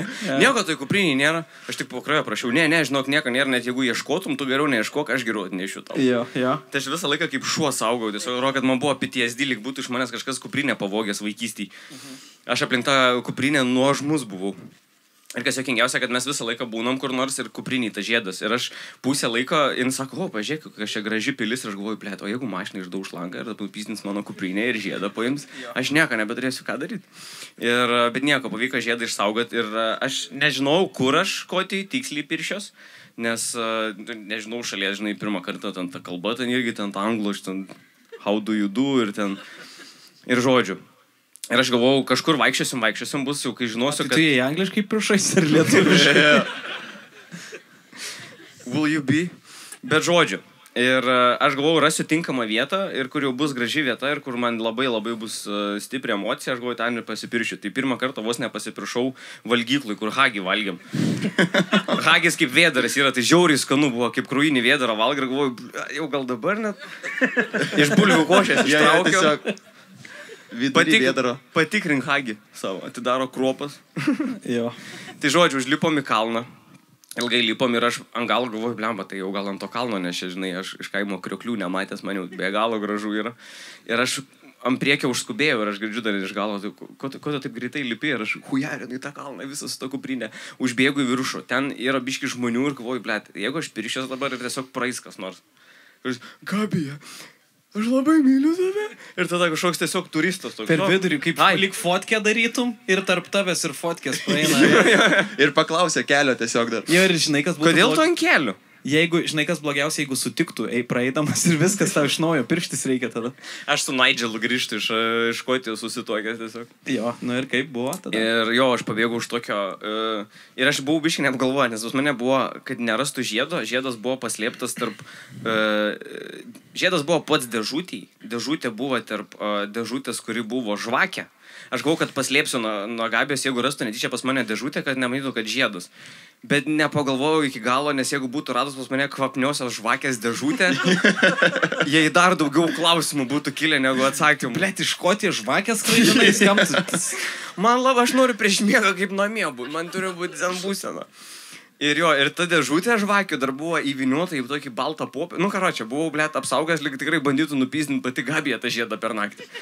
Ir dar aš padėjau po trim džemperiais ir maikiam kuprinės dugne. Tai aš užlipau tą kalną tekinas, bėgu, ieškau, už tokio slėnio pasislėpiau tiesiog. Ir knisu kaip išprotėjęs. Jeigu kažkas matė kalnuosi iš šono, atrodo, kad man kokia karšlygė buvo. Aš už, užkilau kalną ir tiesiog pradėjau mėgstinius mėtyti, popierius draskyti. Ir svarbiausia, kad aš jau pakėliau galvą ir gabija ateina. Ir mano ranko jau dėžutė ir galvoju, dabar mane užklups ant šito momento, aš apšė būsiu pasimetęs. Tada aš paėjau toliau ir padėjau žiedą už akmens kuri nematytų. Ir ateina Gabija į tą tokį slėniuką ir aš tiesiog stoviu, aplink mane, tipo, iš kuprinės ten balti popieriai kyšo. Ir jin tokia stovi, savo, kaip čia gražu, ir aš visas pasimetęs, aš, aš dar, man buvo toks, o tai gal ne čia pirštis, bet kaip tą žiedą reiks atgal susidėti. Ir aš tiesiog toks vaikštau, jo, žiauriai gražu čia, um, aplink tą akmenį su kuratus, sako, tai gal einam toliau, ne, tai gal neinam, gal, gal pabūnam biški. Ir aš tada supanikavau, e, kaip sakykit, e, ant kurio kelio klauptis, atsiklaupiau ant dviejų. Ei, aš iš kepalio aš įpratęs, aš nusėmiau savo e, šito, žinai, baudžiauninko kepūrę. Ir jo, ir aš buvau, atsimenu, surepetavęs žodžius, ką aš sakysiu, kokią kalbą ten, kaip reikia sakyti. Ir aš tiesiog, aš nežinau, iš mano pusės atrodė gan romantiškai, bet kaip aš turėjau skambėti, apie. Ir tuo metu bandau neverkti ir drebusiu. Nu, man brangiau. Atrodo, tu čia pilva kalbių dabar bandai būti, ar ką tu čia darai? Mūsų gyvenime visą laiką buvo. Man kokius penkis kartus užlūžo balsas. Aš tave įsimylėjau, kai tu dar vaikas buvai. Ir kas jokingiausia, aš pradžiai mačiau jos nuostabą, susigaudinimą, vidury kalbos jau biškai mačiau, kad žvengt pradėjo. Ir aš, nu, užbaigiau, pasakiau tos savo žodžius ir aš, ir aš po to net lipdamas žemyn, manęs dar paklausė, sako, o tu kurias sakai, sakė, sakė, ar tekėsi už manęs, ar būsi mano žmonas, gal net neatsimenu. Tai jūs net iki dabar nežinot? Gal kad bus, nežinau, neatsimenu, nes tiek buvo šoko momentas, kad aš toks, tiesiog, Jo. būk su manim, prašau, E, neišyk, neišyk nuo to kalno. Jis pasakė, ar būsi už manęs. Jis maišė, ar būsi už manęs. Bet, bet, Ar tekėsi už mano žmonos? bet jūs, žiūrėk, jūs tai esate labai romantiški, ne? Pablogit, pablogit. Graži istorija. Uh, jūs tai romantiški, mes kai buvom Kaune dabar įventę, kai buvom Kaune įventę, per pertrauką prie prie man to bičiukas, ir sako, žiūrėk, mes už savaitę su žmona tokėmės, padaryk kažką, kad tai nebūtų laiminga, davė apie eurų ir išėjo. Ir sakau, nusenė, tai mes sakau, jūs galim pasveikinti, sakau, nereikia per eurų. Aš iš Norvegijos grįžęs, aš tų pinigų turiu senį ir tiesiog numetė tiesiog. God, tai... O tu padarei kažką? Aš sakiau, Aurimai neringa sveikinu.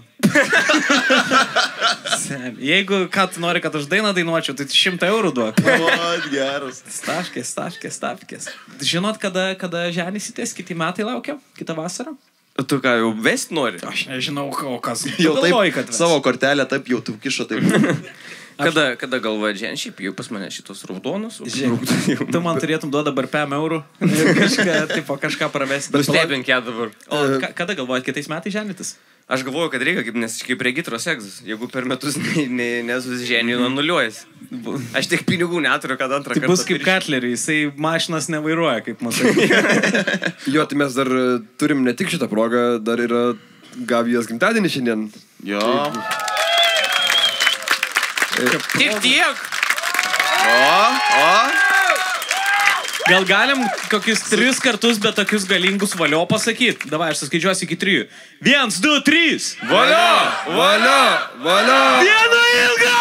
Valio! Ir Evaldo mama mums iš, išvirė labai skanių cepelinų. Jo. Tai ir... Ir irgi yra čia, kartu su Sigiu, kuris yra pagrindinis personažas tavo stand-up'ose ir tuo pačiu Jep. tavo tėvas. Taip, taip nuskilo. Tai dar ir tėvam paplojam irgi. Ačiū labai. Aš žinau, tu Aš kaip čigonas atrodo atsivežiau taborą. Jo, jo. Ir dabar mano šeimos šventė, įsena. Ir dar močiutė. Švenčiam jubiliejų. daug, daug progų sukrito. Paplokit mano mirusiam seneliui, valio. Tikrai geriausia publika. O tu, kai uh, jūs darysit vestuvės, tu kišės labai vestuvių planavimą? Tu būsi Aš tas, kur aš nenoriu. noriu tokių servetėlių? Ne, o aš, mes dar žvengiam, mes uh, sekantį komandiruotės dieną bus uh, pas, Rytoj. uh, pas Mantą sodybai. Ir uh, tiesiog, kaip aš prieš mėnesį susitariau, man Mantas sako, tai žiūrėk, ir Liepos 12 bus pas mane Zarasuose. Aš sakau, gerai. Ir aš daugiau nieko neklausiu. Manęs šiandien jau Gabijo klausinėjo, o tai ar bus patalinė, ar bus tenais, kur maistą pasidaryti. Sakau, Ir, žiūrėk, jis, ir jisai rašinėja man. Jo, ir, ir man su kiekvienu klausimu nepatogu. Ir man tas nėra, kad jis palengvina. Aš sakau, žiūrėk, kaip ten toj sodybai mums ten, tipo, yra vietos. O jo, jūs senai skaičiuoti. Parodau, Gabi, žinai, sako, man neaiškiau. Sako, paklaus dėl patalinės, dėl kažko, bet aš, ne, aš bahūras, aš neklausiu, ar yra man kaldrytė. Aš parašau Bartuševičiui, o ten viskas normaliai. Parašau, kas, tu gal pydaras, kas, ko tu čia klausinėjai? Jisai atrašo, jo, jo, viskas yra, tik į ką kokių savo reikmenų pasimkit. Aš rodau Gabi, jai dar labiau ne, neaišku. Bet aš jau trečią kartą jau neklausiu, kur... Žiūrėk, man tai, o jeigu, o patalinė sintetinė? Aš negaliu ant žasies plunksnos miegoti. Man jinai įeina į odą. O tu gali pasidalinti, pavyzdžiui, patirtim, bet kaip, e, kiek e, jūsų vestuvės gražiai praėjo? Ahujenai. Ok, tarkim. Se, se, pas mus nebuvo vedėjo vestuvėse. Ai, nu nes. Ir buvo nutarta, o aš šiaip niekada nepasakau čia, ne? Jo. Buvo taip, kad mes nuo pradžios, kad aš nusprendžiau, sakau, Jėva, sakau, jeigu mes pasikviestume Jarutį į šventę, nes mes tuo metu jau visai gerai sutarėm. Ir sako, Jarutis, par- parašėm jam ir sako, Jarutis, okei, okay, aš atvarysiu, sako, nes tu mano žmonai labai patinki, kaip vėliau paaiškėjo, buvusiai žmonai. e, ir jisai, žodžiu, jisai sutarėm, kad atvarė, at, atvarys pas mus. Tada sakau, blema, šiaip mes buvom kitokiuose pasikalbėjimuose, kai Balius buvo. Ir Balius dainavo, sakau, aš žiauriai norėčiau, kad Balius būtų. Nes sakau, patiks ir jauniem, ir seniem. Paskambinau Clarkui. Taip ramiai, jo. Va tokį, va, tai su labas, Clarkelį, ką tu? Nėra, kad Clarkas daug skambučių gauna labai. Ja, sakau, ką tu veiksi tą dieną e, ir jisai tuoj pažiūrės ir jaučiu tiesiog į kompo klaviatūrą. Bele ką, jo, jo, ranka taip varo. Blemba, neišeina tavo, tikrai neišeina nieko pakeis. Nu gerai, tada būsim. Čia, sorry, aš įs- įsiterpsiu, kur mes rinkomės komikus, kurie apšildys, irgi kai kurie buvo, kur, nu, toj pažiūrėsiu, ką veikiu. Ir, tipo, kur, žinai, ty- tyčia laukia, pauzę padarė ir kai Kasparai paskambinom, ką veikia, bet ką, varau, viskas, aš kur 3 sekundės praėjo iki atsakymo, jo, tai malonės. Jis tik šiandien paklausė, kur važiuoti. Jo, tada mes galvom, kad studijo Maruko norim. E, žinot, gal studijo Maruko, kur sportas, grupės. Paplokit, kas žino Studio udra, Maruko, Udra, udra. Ti. No, nice. Arba Penki jei- žmonės žino. Jeigu tu ko išsigandai, tau visada padės policija. Ir e, tada nusprendėm, tada Henris kaip tik dainuoti irgi pradėjo. Jo, jo. Sakau, Henri, o jeigu tu, sakau, pas mus vestuvėse padainuotum, sako, "Pff, jam čia buvo belė kokia garbė pasirodo. Jo, ir jokingiausia buvo, kad Jarutis apšildė Henrį. Jo, Jarutis ėjo pats Kur tai- pirmas, jisai visus apšildė Jo, jo. seniai, jisai balių Henry, studijo Maruko, kurvo metų atlikėjas Libanas. Ir jisai, bet, bet jisai paskutinę dieną rašo žodžius, sako, "E, mano grupė varo po konso, jie nebeturi daugiau jau šiandien nieko ką veikti, jie klausia, ar gali pas tavį vestuvės atvaryti ir kartu su manim grot. Kur finansiškai tai jisai ką tik parašė, ar nori, kad padovanočiau kokius 3000 eurų tau dabar. Mes sako, aišku, kad norim, nu čia wow, belekas ir jie tada atvarė. Ir buvo belė koks geras vaibas, ten prisimenu, kad Jarutis dainuoja, visi iš karto šokti eina ir visi šoko, tada atėjo Henris. Henris dainuoja ir visi buvo antiek užsikūrę, kad aš vienu metu atsisuku ir visi siunčia kėdę, tiesiog per rankas siunčia kėdę tamstų. Ok, gerai, tvarkoju. Aš nusisuku šoku toliau, tada atsisuku ir siunčia tiesiog užkandžių padėklus per rankas šoko aikšteliai. Ok, cool. Ir tada išėjom, aš mečiau, uh, mečiau kaklaraištį ir jį pagavo Henris būtent. A, jo, ir jis paskui performinas tokio klarišimo rodos, ar ne? Jo, Henris Jo, jo, dabar, kai pasirodo pasirodymas, užsideda tą kaklaraištį, kurį pagavo. Tai man taip fainai, kad jisai taip e, iš, išlaikė jį. Tai va, ir buvo, buvo fainos vestuvės, bet e, man labai keista, kad aš tai pasakysiu, bet mes neturėjom vedėjo. Ir jeigu tu pažįsti savo publiką ir jeigu žinai, kad jiem nereikia, jie, jie pakankamai lengvai užsikūrė, tai aš sakyčiau, nereikia vedėjo ir kodėl keista, nes aš esu vedėjas. Mhm. Ir, ir aš sakyčiau, kad jeigu žinot savo publiką, tai kartais to vedėjo net nereikia. Bet ne visada, kartais tikrai reikia. Mes, Hebra, dar per mažai pakalbėjom apie komandiruotę patę, pačią, patę, patę komandiruotę. Tai Kad- galim kad- pradėti- Kad te vyksta. Pa- pa- Papasakojam žmonėm, kad te vyksta. Nu tai met Bet tu, dabar kalbi palei savo kepurę. Taip aš taip Atrodo, atrodo, kad mes tave iš to muziejaus paėmėm, kur šaukštus drožiai šiandien. Jums atrodo natūraliai, kai aš taip kalbu su šitą kepurę, ar, kaip va taip kalbu? Tu tik tokia padė, kai taip kalbu. Taip kalbėt man, vita, vita, vita tritvada, tada Tu- taip. tu kalbi- tu- Atrodo, kad tu ėdžiusi, mėgi tiesiog. Tu kalbi taip, Savo norų tiesiog. Aš šitą kepurę nusipirkau Mauricijui, čia yra Dodo paukštis ir nežinau, ar žinot istoriją apie Dodo paukščius. Blet, aišku, kad nežinot. Mes nebuvom Mauricijai, Kas blet. žinot apie Dodo Aš esu matęs gandrą ir tris žvirblius per gyvenimą. Kur tokie palis. Dodo, blet. Jo, jo. E, d- e, Dodo tie paukščiai yra, kurie gyveno Mauricijui.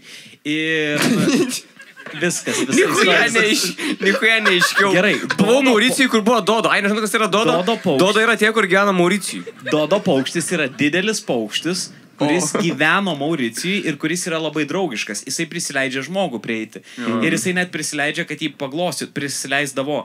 Bet tada mauriciečiai sugalvojo, kad tiesiog juos iš smagumo uždaužė į galvas. ir jie taip išnaikino Dodo populaciją visą. Mm. Tai prasme, jie Wow. išnaikino for real Dodo paukščius. Na, aišku, ten po to plunksnos mėsa ir taip toliau. Bet tiesiog for fun daužydavo į galvas. Ir, ir nebėra tų paukščių. Bet aš galvojau, kad jų yra dar. Ir kai mes Mauricijui važinėjom, uh, nuvarom ten pas vietinį Mauricietį. Uh, Mauricijų. Pas vietinį Mauricijų. Mauricijų nuvarom. Ir, uh, tipo, sakau, šiandien Dodo paukštį mačiau. Ir seniai Dodo paukščiai išnykė, jų nėra, jų nėra Mauricijai. Sako, nežinau, ką tu ten matei, bet ten ne, ne Dodo paukštis buvo. Tai nežinau, ką aš ten mačiau. Viskas, pirma mūsų dalis baigta. Einam pasilsėti biškelį, einam į tūlikus, į barus, įsivaikštom, bet sugrįžtam čia. Ir čia bus klausimai dabar padėti, tai jeigu norit drąsiai parašykit, mes einam pailsėti ir tuoj sugrįžtam. Kaip nuotaikėlės, viskas gerai? Super! Neišpindykit dvaro kopūstų. Primena kažką? Ką? Primena kažką? Taip. Primena, ne? Nu.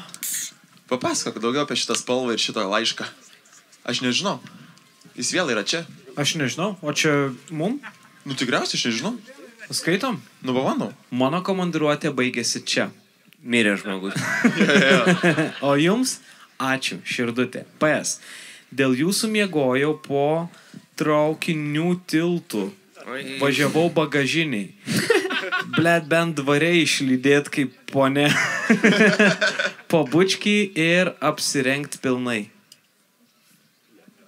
Ar tikrai apsirengti pilnai? A gal nusirė. Ne, gerai. Ačiū. Ačiū labai labai ačiū. Ačiū labai, jo. e, linkėjimai ir vienai sesiai, ir kitai sesiai. Kur jūs esate dabar? Tenais. Kur? Va, labas, labutis. Paskutinė čia jau tikrai? A, žiūrėsim, žiūrėsim. Ačiū labai, labai smagu jūs matyti šitoj komandiruotį. Okay. Gerai. Nu tai ką, mes judam prie laiškų, Jo. prie, prie E, laiškų, ble, kaip jo. rolo šneku. A, Judam prie jūsų klausimų. Jo, e, Evaldai vienas tau perskaityti. Kas skaitys, tas gaidys. Klasika. Kas skaniau kvepia, Grimolio plikė ar Bartuševičiaus barzda? Ei, norit pavostyt? Kas parašė šitą Aš klausimą? esu, aš esu moksli, mo, mo, mokslą mėgstu, man reikia. Gerai. Ir be to kitą užlaikęs. Bartuševičiaus barzda kvepia kaip mano mamos cepelinai, tai... tai Bartuševičiaus barzda vienareikšmiškai. O. Man tai B, ar neironiška, kad į litą investuoji eurų? O, Jo, Geras klausimas. Mes turim šuniuką, vardu Litas. Ir mes. Bet koks jis jį- baisus yra iš tikrųjų ir toks ne, nemalonus. Šuo mano. Tavo tėvai turi tokį pat šunį lygį, kuris yra žiauriai huijana šuo. Jo. O litas kuo toks apsi, apsi, apsimyžęs, jis laikais toks... Ką tu čia šuo? Jis toks dreba, net nepaliesi jas. Aš nežinau, ar tu apie savo paną dabar kalbėjai ar apie mano šunį. Mano šuo labai labai fainas. Jis tiesiog... Tas, kur pas tėvus. Ne, ne, ne. Pas tėvas tiesiog yra labai labai panašus. E, Nu, tas pats Maltos bišonas, bet mes e, į Marę dabar išvežė jį, kad jisai subūtų su... Kad nebemyštų. Su kitais Ne, šunimis Su būtų, jo. e, Jėvos mamos mirštančių šunim. Iš tikrųjų. Dar sunku suprasti tai Jėvos mamai turbūt, bet jis... jau, jis jau bėgioja, bet labai liūdnai. Laidimo namai paskutinis, au, au. Žinot, kai bėgioja, kai e, jūs einat per perėją ir mašina sustoja ir jūs tą bandot pavaidinti, kad bėgat, toks biškita Jo, 3 jo, jo, metrus, kad bėgat, tai va čia Makso to li- ėjimas ir litas būna su juo. Bet litas afigena šuo, jis tai neprisileidžia tiesiog e, tamsiukų, jis neprisileidžia tamsiukų. O, o tutis prisileidžia. nu taip, nes tutis pasaulietiškas labai yra. Jo. Gerai, kas greičiau pralys pro scenos apačią laimės viercho vietą? Mm. Šiaip tiesą sakant, čia yra gera visai užduotis. Šiaip Bet pažiūrėjau, tipo, pažiūrė, nenoriu nieko smerkti, bet pažiūrėjus visus keturis. Ne tai, Kur jūs matot, kaip kilnojasi, kai aš lendu, vienas atsikelia, Ne kas greičiau, atsikelia. bet kas pralys pro apačią. Man to čia būtų šitam kaip porno scenarijus, kur tiesiog tu įstriktum ties viduriu. Aš žinai, ką aš pradėčiau. Ble, ne, Grimalis jaučiu pradėtų kaip limbo, tiesiog va taip va verčiasi. Lyg taip jis pralystų eidamas. Šiaip tai gera užduotis visai. Mes, Atsidėk, nesam, atsidėk, atsidėk. mes nesam niekada šito darę ir negalvojom, ką darysim. Bet kad jau pasiūlėt, kodėlgi ne? Kiek kainavo žiedas, ar atsipirks už šį pasirodymą? Tai taip, uh, čia Jeigu, mo- čia jeigu mokama, žiedas, čia mokama. jeigu žiedas Jo, jo. euras būtų kainavę, nebūtų atsipirkę už pasirodymą. Nedaug tas žiedas, ką ten, žinai. Daug Kiek ten- kokia yra daug pa- dirbti dabar reikės, pas kokį be atostogų metai.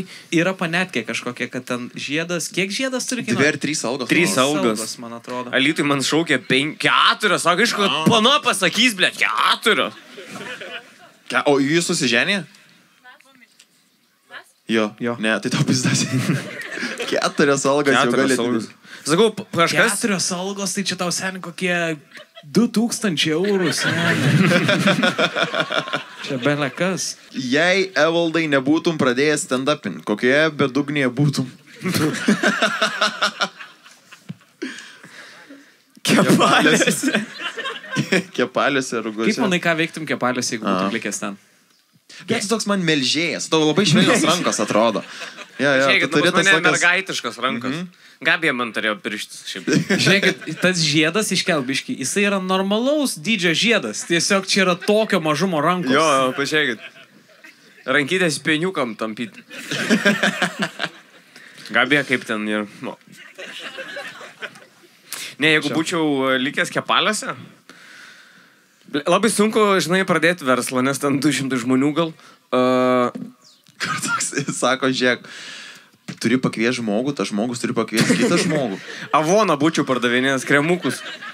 Iš namų į namus ten tos babcės neturi ką veikti, būtų prisipirkę tiek lasijono. Tu, tu būtum galėjęs... Senėlis atrodytų kaip kūdikis dabar. Tu būtum tiesiog galėjęs išmėtyti, tu nebūtų reikėję eiti niekur tiesiog iš savo kiemo.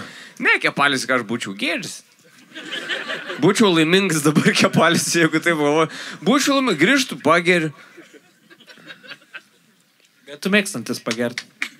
Kepalis. Sorry, aš taip karts nuo karto prisijungiu. Ne, Kažkas tiesiog parašė, rytoj mano katės gimtadienis. Čia kerbelis. Kerbelis, jo, jo, atsiunti. Tikiuosi paskutinis, blė. ja, paskutinis, bet po to dar aštuoni gyvenimai. O.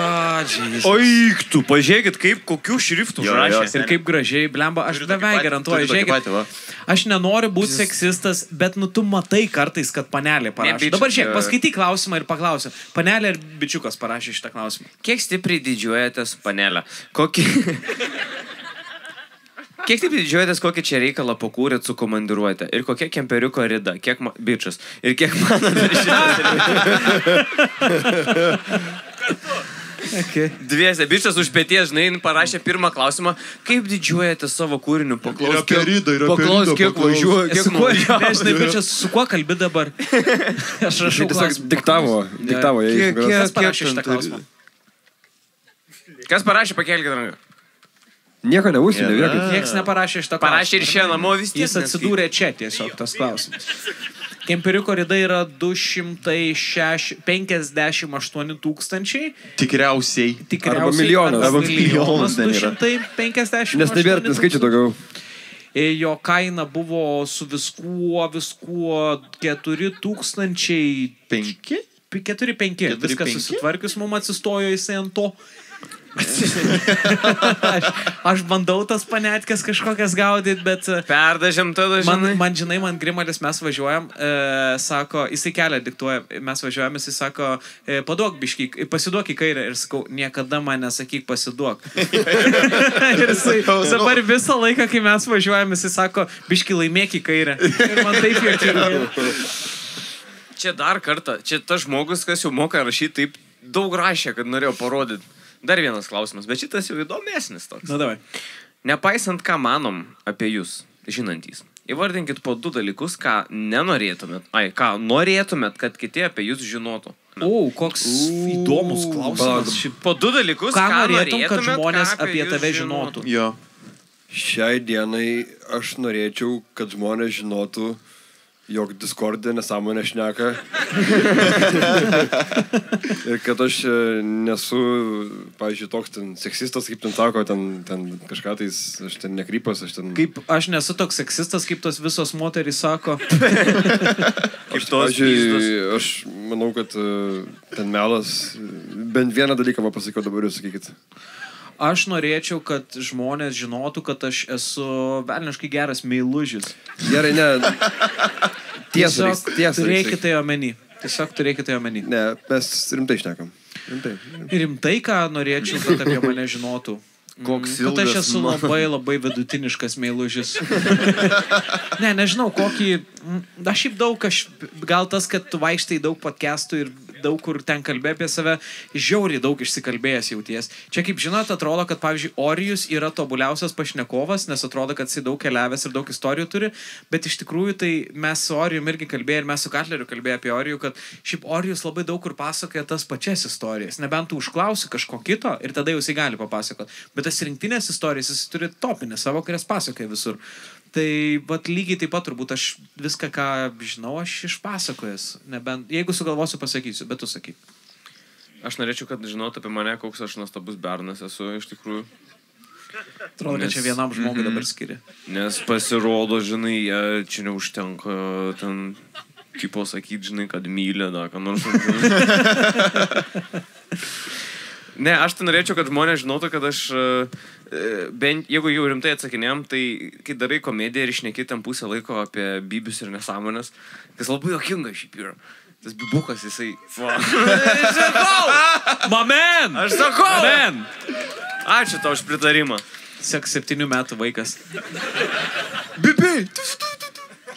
Bet uh, aš tai norėčiau, kad žinotų, kad aš ne, ne, ne keuras ir netūpas visiškai. Noris vis tiek, kad žinotų, kad tu biški protingas esi. Žinai? Jo, jo, suprantu. Čia skirtingas, skirtingas negu ko Grimalis norės. Nu, kartelė, tu? Nu aš stiprus. Galiu, galiu, žiauriai, galiu kad aš žiauriai spitrus. Tris mašinas galiu patraukti. Stiprus mantelė. Spitrus. Aš norėčiau, kad žmonės žinotų, kad aš nesu toks stiprus. Aš norėčiau, kad žmonės žinotų, kad aš žinau, jog aš plinku. Nes būna toks, o, tu žinai, kad tu plinki? Blet, seni. Rimtai. Ir aš norėčiau, kad žmonės žinotų, jog aš gaminu žiauriai skanę šašuką. O, aš nežinojau šito. Aš gaminu žiauriai skanę šašuką. Okay. Sen, pakepini svogoniukus pirmą. Slow and steady. Svarbiausia yra slow and steady. Bet Paskepini svogoniukus, paskui įpili pomidorų tos tyrės ir turi kepinti, kol jis pasidaro tokią tirštą, bet ant lietos ugnies. Suleidi tris kiaušinius, leidi jiems pabūti. Ramiai. Biški, kokias dvi minutės. Suleidai Leidi- tris kiaušinius, skamba taip, kaip komandiruotė prasidėjo. Ir aš darau su mozzarella ir feta. Pirmą mozzarella uždedi, ok? Uždedi ir jinai turi pradėti burbuliuoti po biški. Turi ją laikai, laikai, laikai. Jeigu turi dangtį, uždėkit dangtį. Bet ne per ilgai, nes tada pasidės labai tokia vandeniuota, ar ne? Ir būkit pasiruošę iš karto druskos. Pirmą mozzarella ir paskui druskos dedat. Laukia, laukia, laukia. Ir tada, kada tu nori, kad jinai dar būtų tokia labiau e, tirštesnė, ant viršaus fetos užmeskit, ok? Bet jau išjungkit orkaitę. Nebereikia jos palikti jungtos. Ir paskui tik žalumyną. Cool, geras, geras. Iš viso recepto bent trijų ingredientų nesuragavęs gyvenime. Gerai, aš turiu gerą klausimą visai. Jeigu būtumėte miesto meras, kurio miesto? Kodėl? Ką keistumėt? Aš būčiau, blėt, Kauno meras. Tiesiog ir pakeičiau Kauno merą. Taip simpel yra. Aš būčiau Vilkijos meras. Seniūnas. Seniūnų. Net Vilkija nėra Mes miestas. šnekėjom, labai skiriasi seniūnai ir merai, ar ne? Jo. Kur meras tipo yra, e, nu, išrinktas, jis toks, jie yra tokie solidesni šiek tiek. O seniūnai tokie, davai, važiuojam. Seniūnas gauna, meras gauna galę, seniūnas gauna mašinų. Jo, prieiga jis gauna tokia, žinai, jis turi prieigą Kur prie visur. bet, čia, bet rimtai pagalvojus, kiek buvo seniūnų renginiuose, kiek merų, tai seniūnai vis tik pripizdavo, belia kaip tai. Bet šiaip turiu pasakyti, kad labai fainas, mes kai lauksargiuose darėm ir darėm tam šiaudų rate, tokiam šiaudų rulonų rate, tai buvo, kad atvarė lauksargių seniūnas ir man taip jokinga buvo, kad vyko lauksargių miesto šventė tuo pačiu metu, bet jis pas mus buvo renginį. Ir tada... Ir sako, aš biškai pabūsiu išėjęs ir neišėjęs, jis buvo pas mus visą laiką. Ir tada sakom, tipo, kur ten darėm tą celofaną, eik nahui. E, sakom, gerai, seniūnė, jeigu norit, galite nesakyti ir jisai atsistojęs, viskas gerai, sakau. Jisai, vat, lauksargių seniūnas. Bet jie, man tai aš nežinau, aš su jais gerą kalbą randu. Man patinka tokie, kur būna paprasti tai... žmonės be pripiskių kažkokių. Matai, jie, jie neturi ko pra... Nu, tarp, jie neturi ko prarasti. Darbą. Ką tu iškalbėjai? Seniūnai, jie neturi ko prarasti. Jeigu sužinotum, kad gyveni Triumano šou, ką pirmiausia padarytum? Šiaip geras klausimas. Koks gilus Geras klausimas. Bet o ką turit omeny? E, Kad... Žiūrėk, tu, va tarkim, va dabar. Aš pradėčiau rodyti bibių visiems, Ne, tar ne, tu tai pala, išjung. įvedam, įvedam. įvedam. Rimtai? Tau net nereikia Trumano šou, kad tą Ne, žiūrėk, tu tada pradėtum, kaip, per tą uh, Black Mirror tą epizodą, kur tiesiog ten pradėjo šūdus daryti visokius ir nebegalėjo rodyti jos dėl to. Tai gerai, gal su, supažindinam žmonės, kurie nematė Trumano šou, kad uh, žmogus supranta, kad jis visą laiką buvo filmuojamas ir kad iš jo visą laiką buvo daroma šou ir kad jo visas gyvenimas buvo šou. Ir jisai įkalintas yra pasaulyje tokiam studijoje, toj dideliai. Tai tada klausimas, ką tu darytum, supratęs, kad tu esi visą laiką filmuojamas. Aš tada žinot, ką aš gal pasi... Jeigu jau mano visas gyvenimas buvo paukotas. Bibių rodytum viskas. Seniai. Tai gerai, čia tavo atsakymas. Tu tiesiog Kaip turi ištraukti Kaip ryčkartis su dronu prie žmonių galvų skraido, aš jau Jo. matau. Bairaktar. Įsivaizduok, žiūrėk, tu pamatai droną, tu tipo nustebai maloniai, bet ruskis pamatęs šitą droną, jis toks, eik tu, nu, dabar Pareina, pareina. Bet, na gerai. Gerai, atsakom į klausimą, ne? Uh, jo, aš tada, jeigu jau aš supratau, kad mano gyvenimas visas yra paskirtas tam, kad žmonės jį žiūrėjo ir stebėjo ir visą... ką tik paukštį, paukštį nuhuja. Plunksnos, taip. Jeigu jau tai suprantu, tai aš tada skiriu visą likusį gyvenimą, kad aš tada daryčiau kažką gero, kad žmonės žiūrėdami mane kaž, kažką, kažkokias išvadas padarytų. Mhm. Okay, nice. Įsikvėptų ar kažkas to. Nice, bet ne labai gražus- Aš labai gražus tikslas. Aš pritariu, Erdvė, sen ne taip reikia broti bybį tiesiog. Aš kremukus reklamuočiau, gaučiau daug- labai daug babkių, visi žiūri. Trūlėt. Tai čia tavo pasirinkimas, ar ne? Gerai. Tada timčiau vaiką iš tėvo, žinai, ten kažką suošvinė ten. Papasakokit. Ai, nu gerai, tu mantelė dar ką tu darytum? Aš kartu su Airidu rodyčiau O, bybį. okay, gerai. Bet Papasakokit. dviese vieną. Airido. Ja, aš- Štai.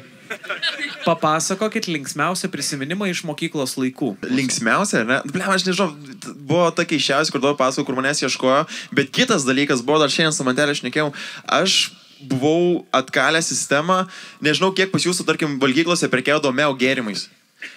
Aš belia kiek daug dalykų laimėdavau iš meo. Mokyklai, kai buvau, aš laimėjau pleistuką, aš laimėjau iPodus porą, ten kažio kamuolių, fulės kamuolių. Žodžiu, buvo taip, kad tipo, tu galėtum nusipirkti valgyklai meo, tada tokią nesąmonę nutrint. Arba laimėdavai iškart meo, arba būdavo kodas. Tai aš visus žmonės pereidavau kiekvieną dieną. net Penkias nahu dienas per savaitę. Aš tiek parsineždavau ir viską Tai tu užregistruodavau. buvai toks miau magnatas. Aš buvau meo meo magnatas, seniai. Ponas Miau mokyklai.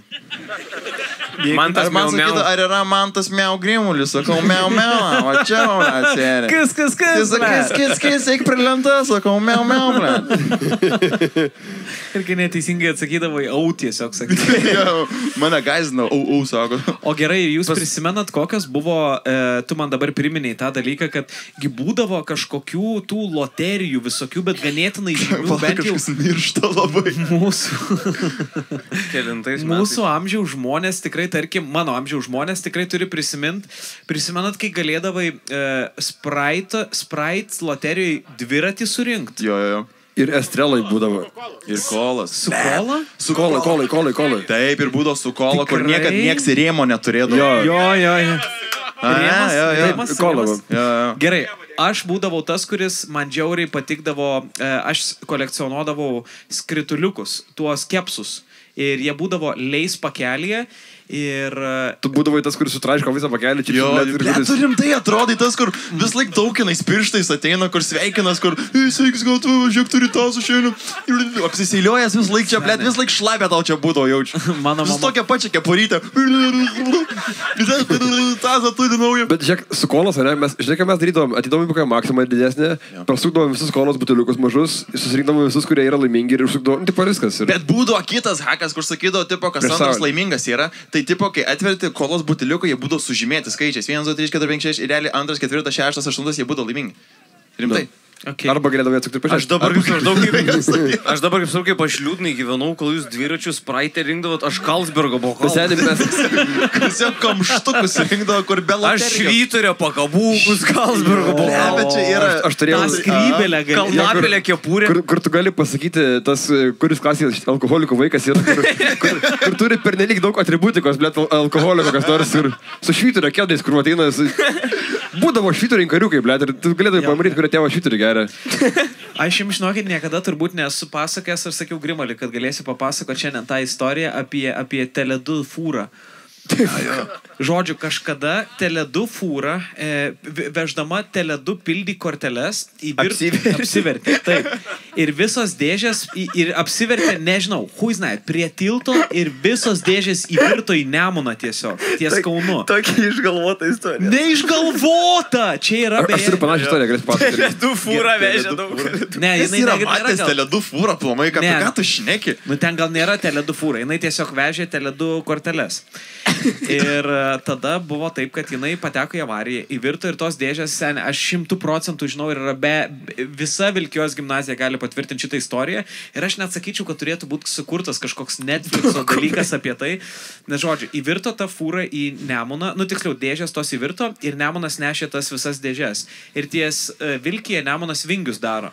Ir Visos žuvis su keturi gėdės. SMS dubasina viskas normaliai. Nu, čia tikra istorija. Ir tada tos visos dėžės, nu, tiksliau ne visos, bet labai labai daug jų užstrigo ties vilkė, ties tam tikrom vietom. Ir vieną dieną mes ateinam į mokyklą ir, tipo, jau ten lyg per žinias pranešė, kad įvirto ten tas, tas kažko, bet tu nemastai, kad tave lies tavo miestelį šitas dalykas. Ir tada atsirado žmonės, kurie atneša mum belę kiek pildy kortelių. Ir sako, iš pradžių dar eidavo išdurkę, kad davai, čia duodu papildymą, tipo 20 litų papildymas, bet gali už 10 litų nusipirkti. Visi pasimovė, bet tas, tos kortelės užblokuotos buvo iš karto. Tada um, ir tai gali būti, kad yra tik tai Vilkijoje padaryta, aš nežinau, ar kur nors dar Lietuvoje iš tų papildymų kortelių padarė spraksiukus tokius. Jo, jo, jo, darydavo. Sulankstydavo taip, kad tipo, spau... jinai perlenkta per pusę, užlankstyti tam tikrai ten galai kažkaip ir tada, kai spaudinėjai, spraksi tiesiog. Pas mus vadindavo klikais kažkaip tais, Nu, nežinau. kažkas tokio gali būti. Ir mes tada, kai paaiškėjo, kad ta fūra, tos dėžės yra ties Vilkija, mes visi su dviračiais varė.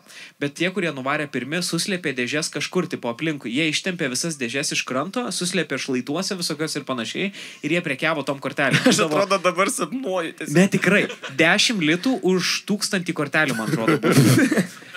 Jo, ir tada aš prisimenu, kad po kokių trijų dienų maždaug tu įeini į mokyklą ir tu suspraksi su savo kortele ir tada visi tiesiog spraksėt pradeda šūliai visoji. Tipo, kai ateini tik į mokyklą. svirpliai. Jo, jo, kaip tiesiog pelkiai atrodo, tu esi. Krik, krik, krik, krik, krik, krik, krik, krik, krik, krik. Ir tada mes sugalvom daryti dar vieną dalyką. Tada tuo metu siautė tie visi ten, um, kur skambindavo iš kalėjimų ir sakydavo, kad ten sąskaitos papildymo. Ir Ir dabar siaučia jie. Aš garantuoju, kad čia bent pora yra pasimovusi. Čia bent vienas yra, kuris dar siaučia. Dabar, vat, vat. Tai jo, tai mes, mums vienas paskambino kažkada ir mes, mums paskambino ir sako, tipo, gal gali, nu ten kažkoks premisas, nežinau koksai, bet gal gali padiktuoti. Ir mes tokie, o, mes galim padiktuoti tau pildy kortelių numerių. Seniai, laikykis, laikykis. Sakom, a, blem, aš neprisimenu, bet jisai kažkas ten sakė, kad kažkuo grasino, kad ten reikia būtinai, būtinai. Ir sakom, tai čia turbūt gal geriausiai netgi už 50 litų papildymą duot. Ir jisai, nu, būtų geriausiai šiaip. Sakom, dik, diktuojam skaičius, rašykis. Ir mes ten sudiktuojam skaičius ir jisai sako, Nu, man rašo, kad jau išnaudotas šitas.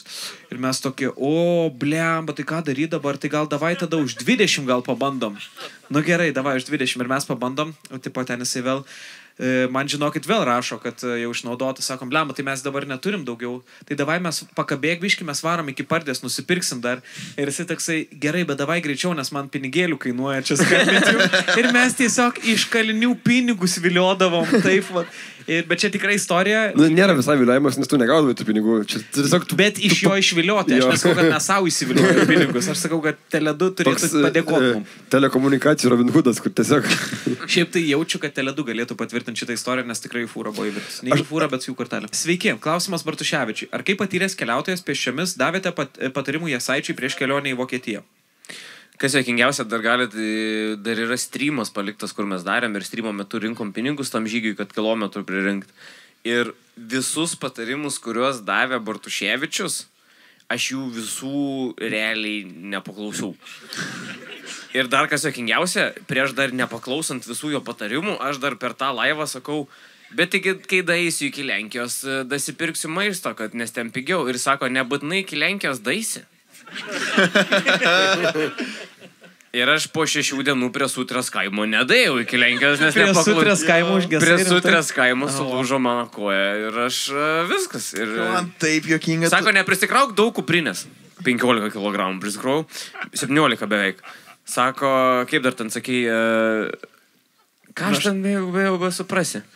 Na, aš tau daug sakiau patarimų, aš tau sakiau. Neprisimenu nereikalingų daiktų. Jo, aš pavyzdžiui, žiūrėjęs neik ten- 7 kilų per dieną iš karto, ar tu turi Jo, 5 tavo, aš, tai, aš ta prasme, kai tu pradėjai kelionę, galbūt čia yra kažkas, kas ne, nenori dabar ne, nenori žeminančiai skambėti, bet uh, galbūt kažkas nežino šito žmogaus, kad jisai yra iš Lietuvos, iš, iš Vilniaus, ne? Mhm. Tu esi nuėjęs iki Berlyno pešiom tam, kad pareikštum žinutę, kad tu palaikai uh, Ukrainą ir kad, kad Vokietija biški per mažai ją palaiko. Jo. Jo. Tai nežinau, kodėl neploja šitą vietą. Matosi, kaip, kaip nuėjo žinutė, kur nieks. Yeah. Tai tu tikės, kad vokiečiai išgirdo žinutę šitą, ne kur šokiruoji, kur sen, kiek iki kapalių čia yra. Žiūrėk. iki čia ne, visi, ne visiems tai. Žiūrėk, nenoriu neką sakyti, bet aš nuėjęs į Berliną, aš savo žygio batus, kuriuos sudrašiau, supakavau į dėžutę, mhm. parašiau Šolcui laišką ir išsiunčiau paštu į mm, parlamentą. Adresu. Jo. Aš nufilmavau visą video, bet niekada jo neišleidau, nes tiesiog patingėjau sumontuoti. Bet uh, pas mane tokias ambicijos. Aš galiu eiti iki Berlyno, bet montuoti video. Tik neduokit man. Ir aš nusinčiau tą dėžutę į parlamentą ir tik tais, nu, žinai, ten vienas kitas mėno ir davė leopardų tankų Ukrainai, žinai, tai nenoriu nieko sakyti, bet... Uh... Ačiū, Valdai. Žiauri, žiauri, ačiū. Ačiū, ačiū, ačiū. Tik tiek, žinai, paprastas bičias iš kepalių, iš ką Nice. pasakyti. Nice. Gerai, toliau Mes skaitom. dabar naikinami suskiai yra. Cool. Aš tavęs norėjau apie kelionę paklausti. Mhm. Bet, e, tiesiog mes turim žiauriai daug klausimų. Nieko mhm. prieš, jeigu apie kelionę dar paklausė, valdo. Ne, valdo, gerai, važiuojam. E, kas tau buvo sunkiausia kelioniai? Aš, tau, aš pas, paklausiu, ar tau buvo tai sunku ar ne.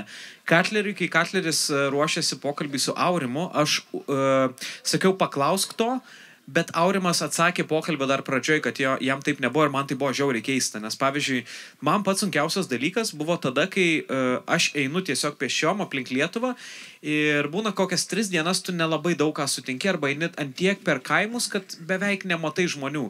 Ir man psichologiškai šitas dalykas taip stipriai kirto. Ir ypač ten po, kai mėnesis buvo, kai jau mėnesį laiko ėjau, nes perėjau per kem šešias dienas, tai likus kokiam dviem savaitėm, man žiauriai stiprus psichologinis prasidėjo, kad su nieko nepakalbi normaliai. e, Su, aš prisimenu, sakau, man tas lemtingas posūkis, aš jį vadinu, gal net gyvenime kur aš buvau netoli Marcinkonių ir labai labai lyjo ir buvo dvi linijos, ti- tipo ėjo kelias tiesiai, labai labai tiesiai ir tada pasukti ir irgi labai labai tiesiai. Ir ant tiek lyjo, kad abiejų ke, ke, kelių pabaigos nesimatė. Ir lyjo, peršlapė žemėlapis, žinau, kad jeigu jį ištrauksiu, aš jį suplėšysiu, nes aš visiškai šlapęs ryšio nebuvo. Kelintais tu metai ėjai su žemėl. Aš nežinau, kodėl, bet nu, dėl bijojau, kad interneto nebus ar kažkas tokio. E, Ne, tiek kortelių turėjai interneto du ke- tu neturėjai, na. Visą fūrą kortelių ir Tavo yra istoriją. įsikrovė gay, what the istoriją. fuck, ble. Jo, ir aš tada prisimenu, kad stovi telefas išsikrovęs, gal iš viso žemėlapis nenori traukti, tada žaibuot pradeda. Ir tada prisimenu, kad aš verkiu tiesiog toj, toj, toj sankryžoj ir aš nežinau, kur sukt, nežinau, kur man eit, nes abu du keliai eina belė kiek, matau, kad tiesiai jų pabaigos nesimato. Ir aš galvoju, nu gerai, aš palapkės čia negaliu statytis, nes tada galvoju, kad žaibas trenks į palapinę. Nu, tokių durnų prisigalvoju visokių dalykų. Yeah.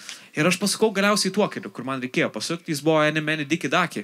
Tas kelias. Jo, bet aš pasukau tuo keliu, bet aš prisimenu, kad man toksai atrodo, tuo metu, kai dabar jau atsuku laiką atgal, atrodo, kad aš buvau prieėjęs kažkokį gyvenimo kryškelę, kur rinkausi ne tik tai, kuriuo keliu eit, bet apskritai, kuriuo keliu eit gyvenime. Mm. Tipo, jo, nes ten ilgai žiauriai stovėjau, mašiau apie viską, ką aš esu padaręs ir taip toliau. Tau nebuvo kažkokių tokių e, nušvitimų, nežinau, atsivertimų, o gal kaip tik visiškai ramu tau buvo ir tau fiziškai sunkiau buvo eiti. Man sunku buvo, e, nu, mane lydėjo Gabija su automobiliu Lenkijoje visą laiką, nes jeigu kažkas atsitiktų, kad, e, nu, ne tai, kad visą laiką nėra, kad aš tiesiog einu ir Gabija ant pirmo bėgio tokia per langą pasakė. Ant pirmio bėga biški per greitai, bet Jo, ant antro biški per lietai. Jo. Ir toks kaukė tiesiog Jo. iš galvo. Tai mes tiesiog su Gabija sutikdavom vakarais arba kartais e, pa, tiesiog papietaut, bet uh, realiai apart Gabijos tai ten nelabai sutiks su žmonių, ten sustoja koks nors Lenkas ir davai sės pavešiu, sakau, nenoriu, aš einu pešiom, man iki Berlyno reikia, davai, tai pohu, jis sės, kai pavešiu vis tiek. Sakau, aš pėšęs, jis sako, į Berlyną reikia ne pešiam, o su tankais važiuoti, galvoju, blėt. Ir Lenkija Čia šiaip- kažkada bus geriausia reklama, kurią aš esu matęs. Volkswagen Široko buvo reklama. Nežinau, ar kas matė. Ai, one tank, uh, Jo, kur Berlin. tipo Volkswagen Široko. From Berlin to Warsaw with one tank. Tas yra labai gera reklama. Jo. Tai žodžiu. Tankas yra bakas dar. Jo. Tai e, Lenkijai nebuvo daug su kuo pabendrauti ir žmonių ir pati Lenkija labai nuobodė, nes ten praėjus nuo Dzukijos visą tą Varmijos, Mazūrijos sritį, ten ties Olštino link, po to visą Lenkiją, vien fermos, viskas lygų, blėt, šunis puola, nahui, maistas neskanus, ten kampi. Lenkijai, jeigu pirksi kumpį ar sūrį, tas pats skonis, pokai, gali ten šlapę laikraštį valgyti, ten nėra jokio skirtumo, tiesiog mėnesį laiko Lenkijai, šiknų šiknuoj kažkokio, blėt. Už tūliką reikia sumokėti 2 zlotus, kas yra kokie 3 centai, blėt, renka 3 centus, kad pašykt. Atsilūpę. Ir tu eini į ten, blėt. Nepatogu tiesiog. Nepatogu, tiesiog, jo, kas 2 zlotus nešiojasi, atsipys. Ir Ir eini, eini, neįdomu, neįdomu, neįdomu, neįdomu. Ir tas, tipo, visa kelionė tokia, kur... Ir aš jau galvojau, ateisiu į Berliną, paskutinę dieną, eisiu čia iki to e, parlamento, vien su savim pabūsiu, apmastysiu visą kelionę, nes tu man dar pasakai irgi tam laisrime, pagalvo, gal ateisi, tau ateis kokiu nors fainų minčių per visą kelionę. Įtikėjai į Berliną, pristato lietuvis, tipo, o aš čia gyvenu Berlinė, aš tave palydėsiu, galvoju, atsipys dar vienas, na. Ir aš einu visą tą kelią ir jisai, ai, aš čia biški dirbu, aš čia, žinai, vis tiek aš čia gyvenu, nu, žinai, man tai kas, man čia palagoju, eik, na, aš paskutinę dieną savo turiu. Ir visa šiaip kelionė, paskutinė tik tais buvo smagi akimirka, kad buvo uh, labai malonu, kad buvo mitingas Ukrainos ten, su ukrainiečiais pastovėjom visą kitą ir pa, pašnekėjom. Uh, antrą dieną labai norėjau, nes aš atsimenu, nebedariau pertraukos ir keturias dienas ėjau iš eilės beveik po kiam kilų. Ir tada galvoju, nu, penktą dieną tai tiesiog palsėsim Berlyną. Ir tada sako Gabija, tai dabar biški, dėl manęs varom, pažiūrėsim biški Berlyno. Ir tada mes tiesiog dar trim kilų nuėjom pėsčiom. Beyoncé's koncas, sen. Varom pašok dar. Tu gali šokti su savo kojom ir puslėm. Tu ne per daug spyruokliuosi viršų nuo puslių. Nepratrūkstau tas vanduo tarp tų kojų. Jeigu taip jau, žinai, kalbant jautriai ir rimtai, tai visa Lenkija ir visas žygiavimas link Berlyno man buvo toks gan techninis ir aš buvau labai susikoncentravęs, darau ten mankštas ir visokius pratimus, kad nebesulūš, nes man buvo didžiausia baime dėl traumos. Uh, pakankamai viskas buvo lengvai, nes Gabija būdavo vakarais, bet sunkiausia žygio momentas, kas buvo labai šiaip Nu, blėt, amplitudė, tai aš jums papasakosiu. Aš žygiuoju, žygiuoju visą laiką vienas. Nu, pradžiai pradėjom dėstę su draugeliu. Draugelis antrą dieną gavo karščio smūgį, išvažiavo atgal į Vilnių. Likau vienas. Einu padahoje, kylu per didžiausius liepos karščius. Man labai sunku, kojos puslėtos. Aš, blėt, vandens neturiu, visas išdžiūvęs, pervargęs, viskas skauda. Tada dar, blėt, labą rytą paima interviu iš manęs šitą albiną, blėt. Aš sėdžiu dar kažkur prie Lietuvos, o tai ko tu ten eini, ką Berlyną, tu suplanavai, kad ten vyksi, kur, blėt, aš dar nesuplanavau, kaip aš į Lenkiją įeisiu. Ir viską, viską praėjau, pasilsėjau biški pas Gabės tėvus sodybui ir aš atsimenu, buvo paskutinis vakaras a, prieš tą lemtingą sulūžimą dieną. Mm. Čia pirmą kartą, kai išėjau. Čia pirmą kartą, kai išėjau jo ir kai jau dar Lietuvos teritorijoje ir aš atsimenu, einu ir taip filmuoju istoriją, sakau, va, skaudėjo pėdas, bet kažkaip pradėjo kairę koją sąnarį skaudėti ir nebeskauda puslių. Tai čia viskas tik galvoj. Tai čia viskas tik psichologija ir man komentuoja, jo, jo, skausmas tik psichologija, tu nepasitok skausmui. Sekančią dieną aš paeit nebegalėjau kojas sulenkti. Ir atsimenu tą vakarą prieš išeinant link sutrės kaimo, aš sėdėjau ir uh, mane pagaliau, nu taip, likau visiškai tikrai vienas, nes žinau, kad išeisiu kitą dieną jau į Lenkijos teritoriją ir nebus jokių žmonių, neturiu draugo palidovo, būsiu visiškai vienas. Ir e, buvau jau pusdienį, mane nesgabė ten lydėjo, lydėjo biški ir po to aš iki metelio atėjau viens pats. Ir sėdžiu tuose metelėse, pastačiau palapinę, uh, viskas skauda, kojas sulenk negaliu, žiauriai karšta, vaikai klykia kažkokie. Dar padariau vaiskolą su šeima video čato, tėvas dar, "E, tai eisi tu čia po to senatvį nepaisi. Pamotivavo. Padėjau ragelį, sėdžiu vienas ir taip liūdna ir taip pradėjo mane hitinti, kad tuoj mėnesį laiko su biškiu būsiu visiškai vienas. Ir tada man atėjo mintis, kad aš labiausiai pasilgsiu žmonių, bet pirma mintis, kas atėjo į galvą, ko labiausiai pasilgsiu, tai gabijos. Ir aš atsimenu, tada pirmą vakarą skambinau, susigaudinęs, visą susigaudinęs skambinu. O, ir taip suku dar pirštą. O tu gali gal dar biškai atvažiuoji prieš miegą? Gal gali biškai pabūsim? Ir net važiavo ir mes pabuvom ir net atsisveikino, aš tada dar biškai ašarą nubraukiau palapinį ir galvoju, gerai, susimsiu, aš sekančią dieną išeisiu, nueisiu, kad ir ta koja man jau, čia elastinis bintas, visą likus koja mėlyno, e, užviniotas, galvoju, viskas bus gerai, sutvarkysiu ir tada pradėjau eiti link sutrės 9 km suskau. Dar ryte reikėjo uždarę kempingą. Dabar, kai tu sakai, pradėjau eiti link sutrės, atrodo, kad tu pas Gabį. Ir, bet reikėjo iš kempingo išeiti, užrakino vartus, aš, blėt, per spigliuotą tvorą, nahui, turėjau išlipti tą sulūžusią koją. Einu pabiški ir man vis skauda ir aš net negaliu, aš kiekvienas žingsnis man vis taip paskauda, nes pasirodo buvo ten žoskas uždegimo sąnario, susivariau kremzlės, kurių nebėra jau, žinai, peržegnok ir pa, palidėk. Dar vieni laidojimų namų žodžiai gali būti. Ir aš tiesiog... Tu dabar šito istorijoje Maikę laimėjai. Nu, nu. Mhm. Ir aš tiesiog taip einu, einu, einu ir, ir, ir jau jaučiu, kad nebegaliu. Pradėjau paskutinius 2 km verkiau realiai, einu link sutrės ir tiesiog žliumbiu savo. Ir kas svarbiausia, kad aš prieš kviesdamas greitai ar pagalbą dar paskambinau Gabiai, žiūrėk, o ką man daryti dabar, jeigu man dabar laskauda labai ir man ašaros atbėga. Jis tada, "Nu, nebūk debilus, kvies greitai ir tiesiog padėjo ragelį. Tai man kas, ir tada, nu, grįžau Vilnių, pradėjau tvarkytis traumą ir antrą kartą išėjau. Ir kas jokingiausia, kad aš kai galvojau meteliuose, kad čia paskutinis vakaras, kada aš su Gabiju atsisveikinu ir būsiu visiškai vienas Lenkijoje, tai visą sekantį žygį, kai išvažiavau, kadangi mane visi draugeliai iki dal, nes visi nori padėti, bet kai reikia, nėra nei vieno, blėt. Tai Gabija lydėjo iki pat Berlyno su mašiniuku iš miesto į miestą, tai pasirodo, kad ir nebuvo nei vieno vakaro, kada Gabijos nebūtų. Tai va. Kokia. Ir tu nori pasakyti, kad tu po viso žygio tu ne Berlyne pasipiršai, o jūs grįžote į kur jinai. Gerai, aš pirmų bėgių važiuoju iki Berlyno. Jeigu jisai prie Bragdenburgo vartų mane pasipirš, aš bibidėjau ant šito. Jeigu jisai dar iš Škotiją norės, jeigu jisai į kepalius galvoja nusivežti ir ten pasipirš. Ir ateina prie Brandenburgo varto, aš tiesiog su šokiu lietuviu random sėdžiu. Ir jo, jo pirmi žodžiai, jai taip, aš seniau daug draksų vartojau, bet dabar jau biški švarus. wow. Cool. Geras, Gera geras. istorija, Ačiū žiauriai. tau, Evaldai, Aha. šiaip a, už šitą kelionę aš tau daug patarimų daviau. Aš iš karto galvojau, kad tu tikrai nepadary. Gerai, galim paploti, galim paploti. Jo, belekas, čia belekas. Bet aš taip ir galvojau, kad aš nežinau, ar tu padarysi. Nes tavo šiandien nuėjau 8,5 kilus, jo. šiandien nuėjau 16 kilų ir rytoj laukia 9,5 kilų. Ir tu toks sen, negali taip daryti. Jo. Tipo, organizmas pripras turi prie tos rutinos ir tu gali ją kelt po biški, bet tu negali jo šokiruoti. Ir, nes man buvo, aš irgi pradžioje va taip va pašokiruodavau, bet ne taip drastiškai ir dėl to labai labai kojos sus. Nu tai kai aš jau šimtą kilų, man inkstas atsisakė dirbti.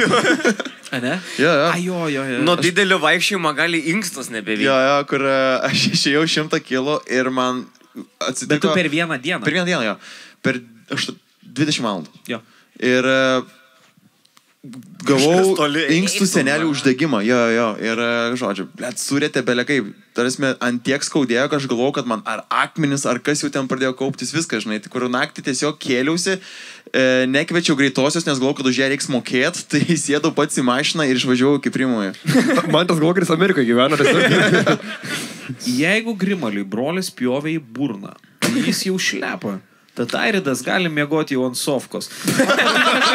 Tiesiog žmogus paaiškino, kaip jam atrodo. geras, geras, geras. Tiesiog kalėjimo panetkės įsijungia.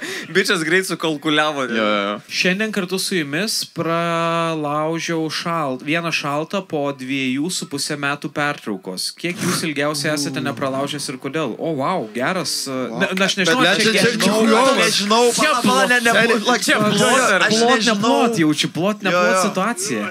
Seniai čia jaučiu, dabar žmogus tiesiog kodą nusilaužė savo, kur, kur dabar, jo šeima sugrius už trejų savaičių, blėt. Jo, kur mes sakom- bičias du metus su pusė. Nėra, kad Du žmonės- metus su pusė negeria, kad komandiruoti pripis. Ir net, be, net nesumomis, blėt. Net ne savo komandiruotėj, tiesiog mūsų komandiruotėj. Nereikėjo taip daryti. Dabar, dabar jiems zaibys yra. Dabar jiems jisai... O, aš nežinau, jis, čia, seniai, jis jau senokai išvaręs, jis jau šiauliuos galimai tūsina. Tas... Jis jau tam, tam bravarė ap, apsižiojęs tą.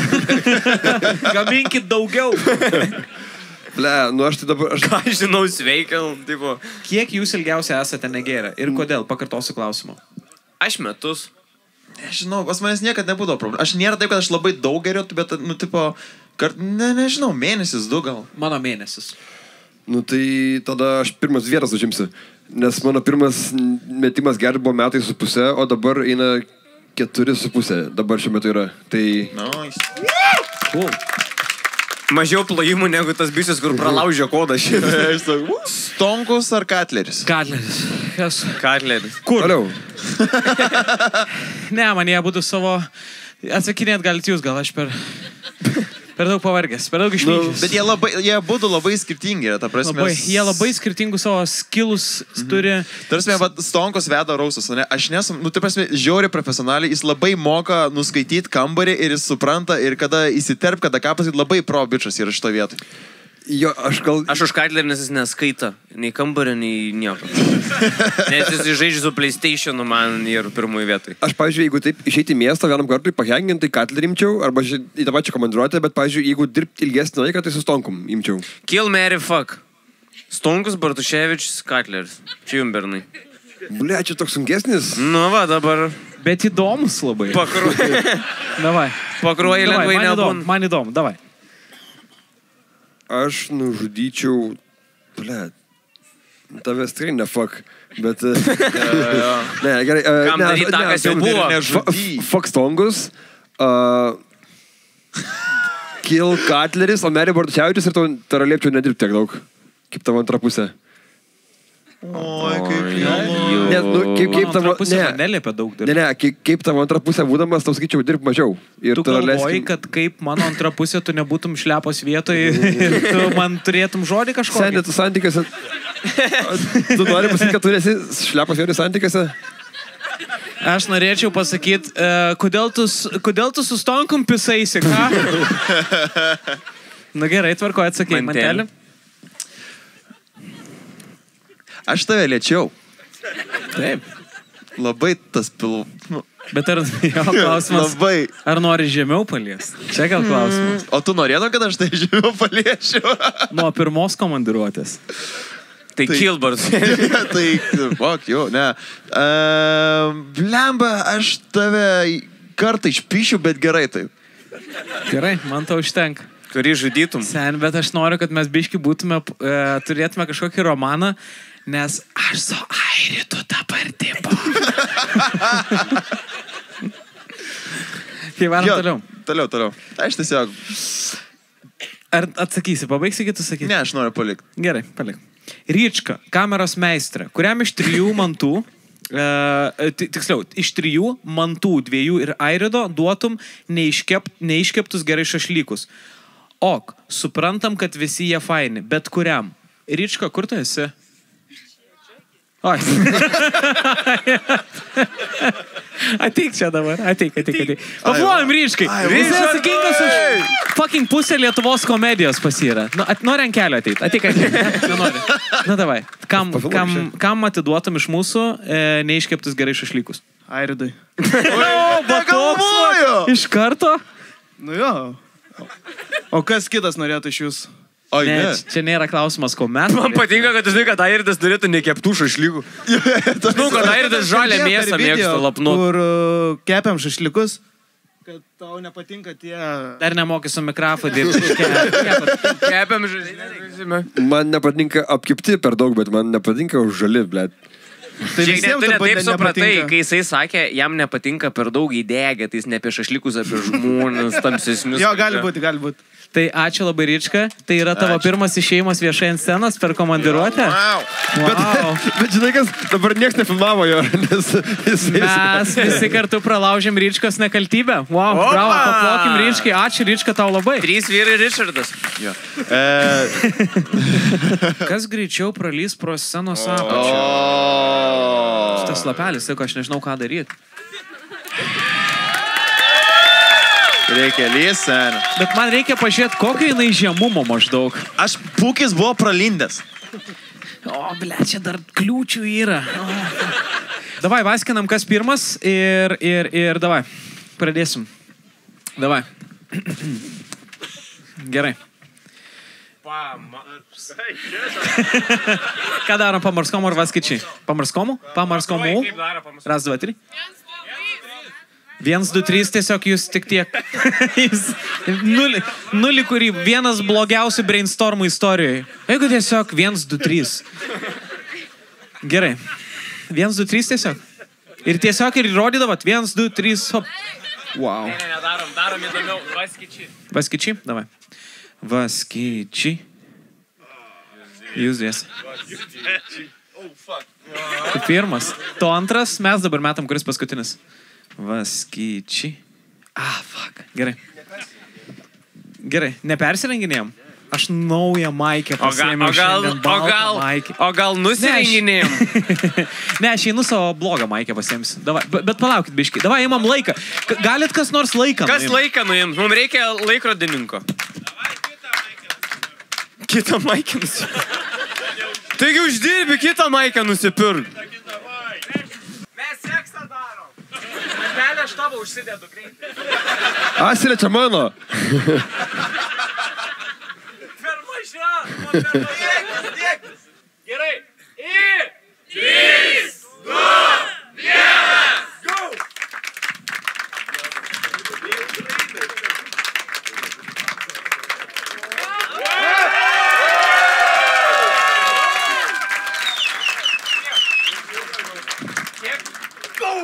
782. 782 laikas, paplom! Jeigu kas nors nematėt Afganistano karo, dabar įsivaizduosit kaip. Iški turi, turi toliau, nes tavo plaukai matai užlenda, o man...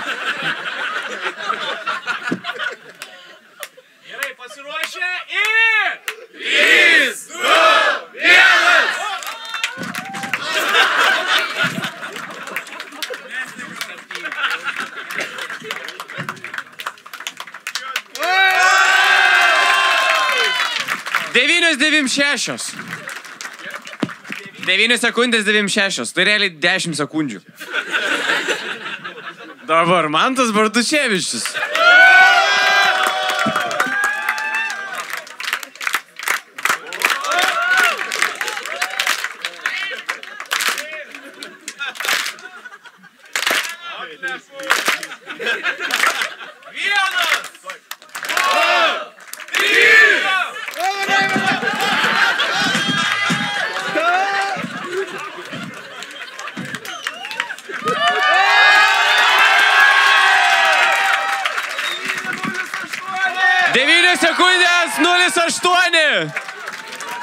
Tai dabar vienintelis, kas gali veikti grimalį, tai aš, nu tai jūs pažiūrėkite mane. Aš belę kaip trenkiau galvą stipriai, belę kaip trenkiau galvą. Jesaitė atsargiai, okei? Okay? Tau dar ženytis reikia. Gerai, pasiruošę. Ble, Gabija tavim didžiuotųsi, žino. Matydama tokį, jį tavim didžiuotus. Pasiruošę svajonė jaunikį. Gerai.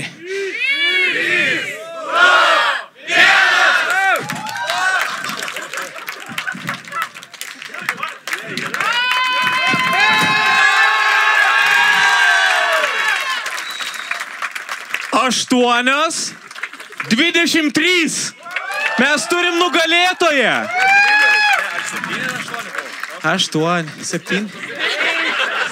7. Tai neturim nugalėtojo jo, bet turim nugalėtoją jį. Antroji vietoje Evaldas trečioji vietoj aš ir ketvirtoji vietoj žmogus, kuris sakė, kad jis jau nebėra šlepa, Airidas Jankos. Viskas, ačiū jums visiems ir mes atsisveikinam iki kitų metų ate.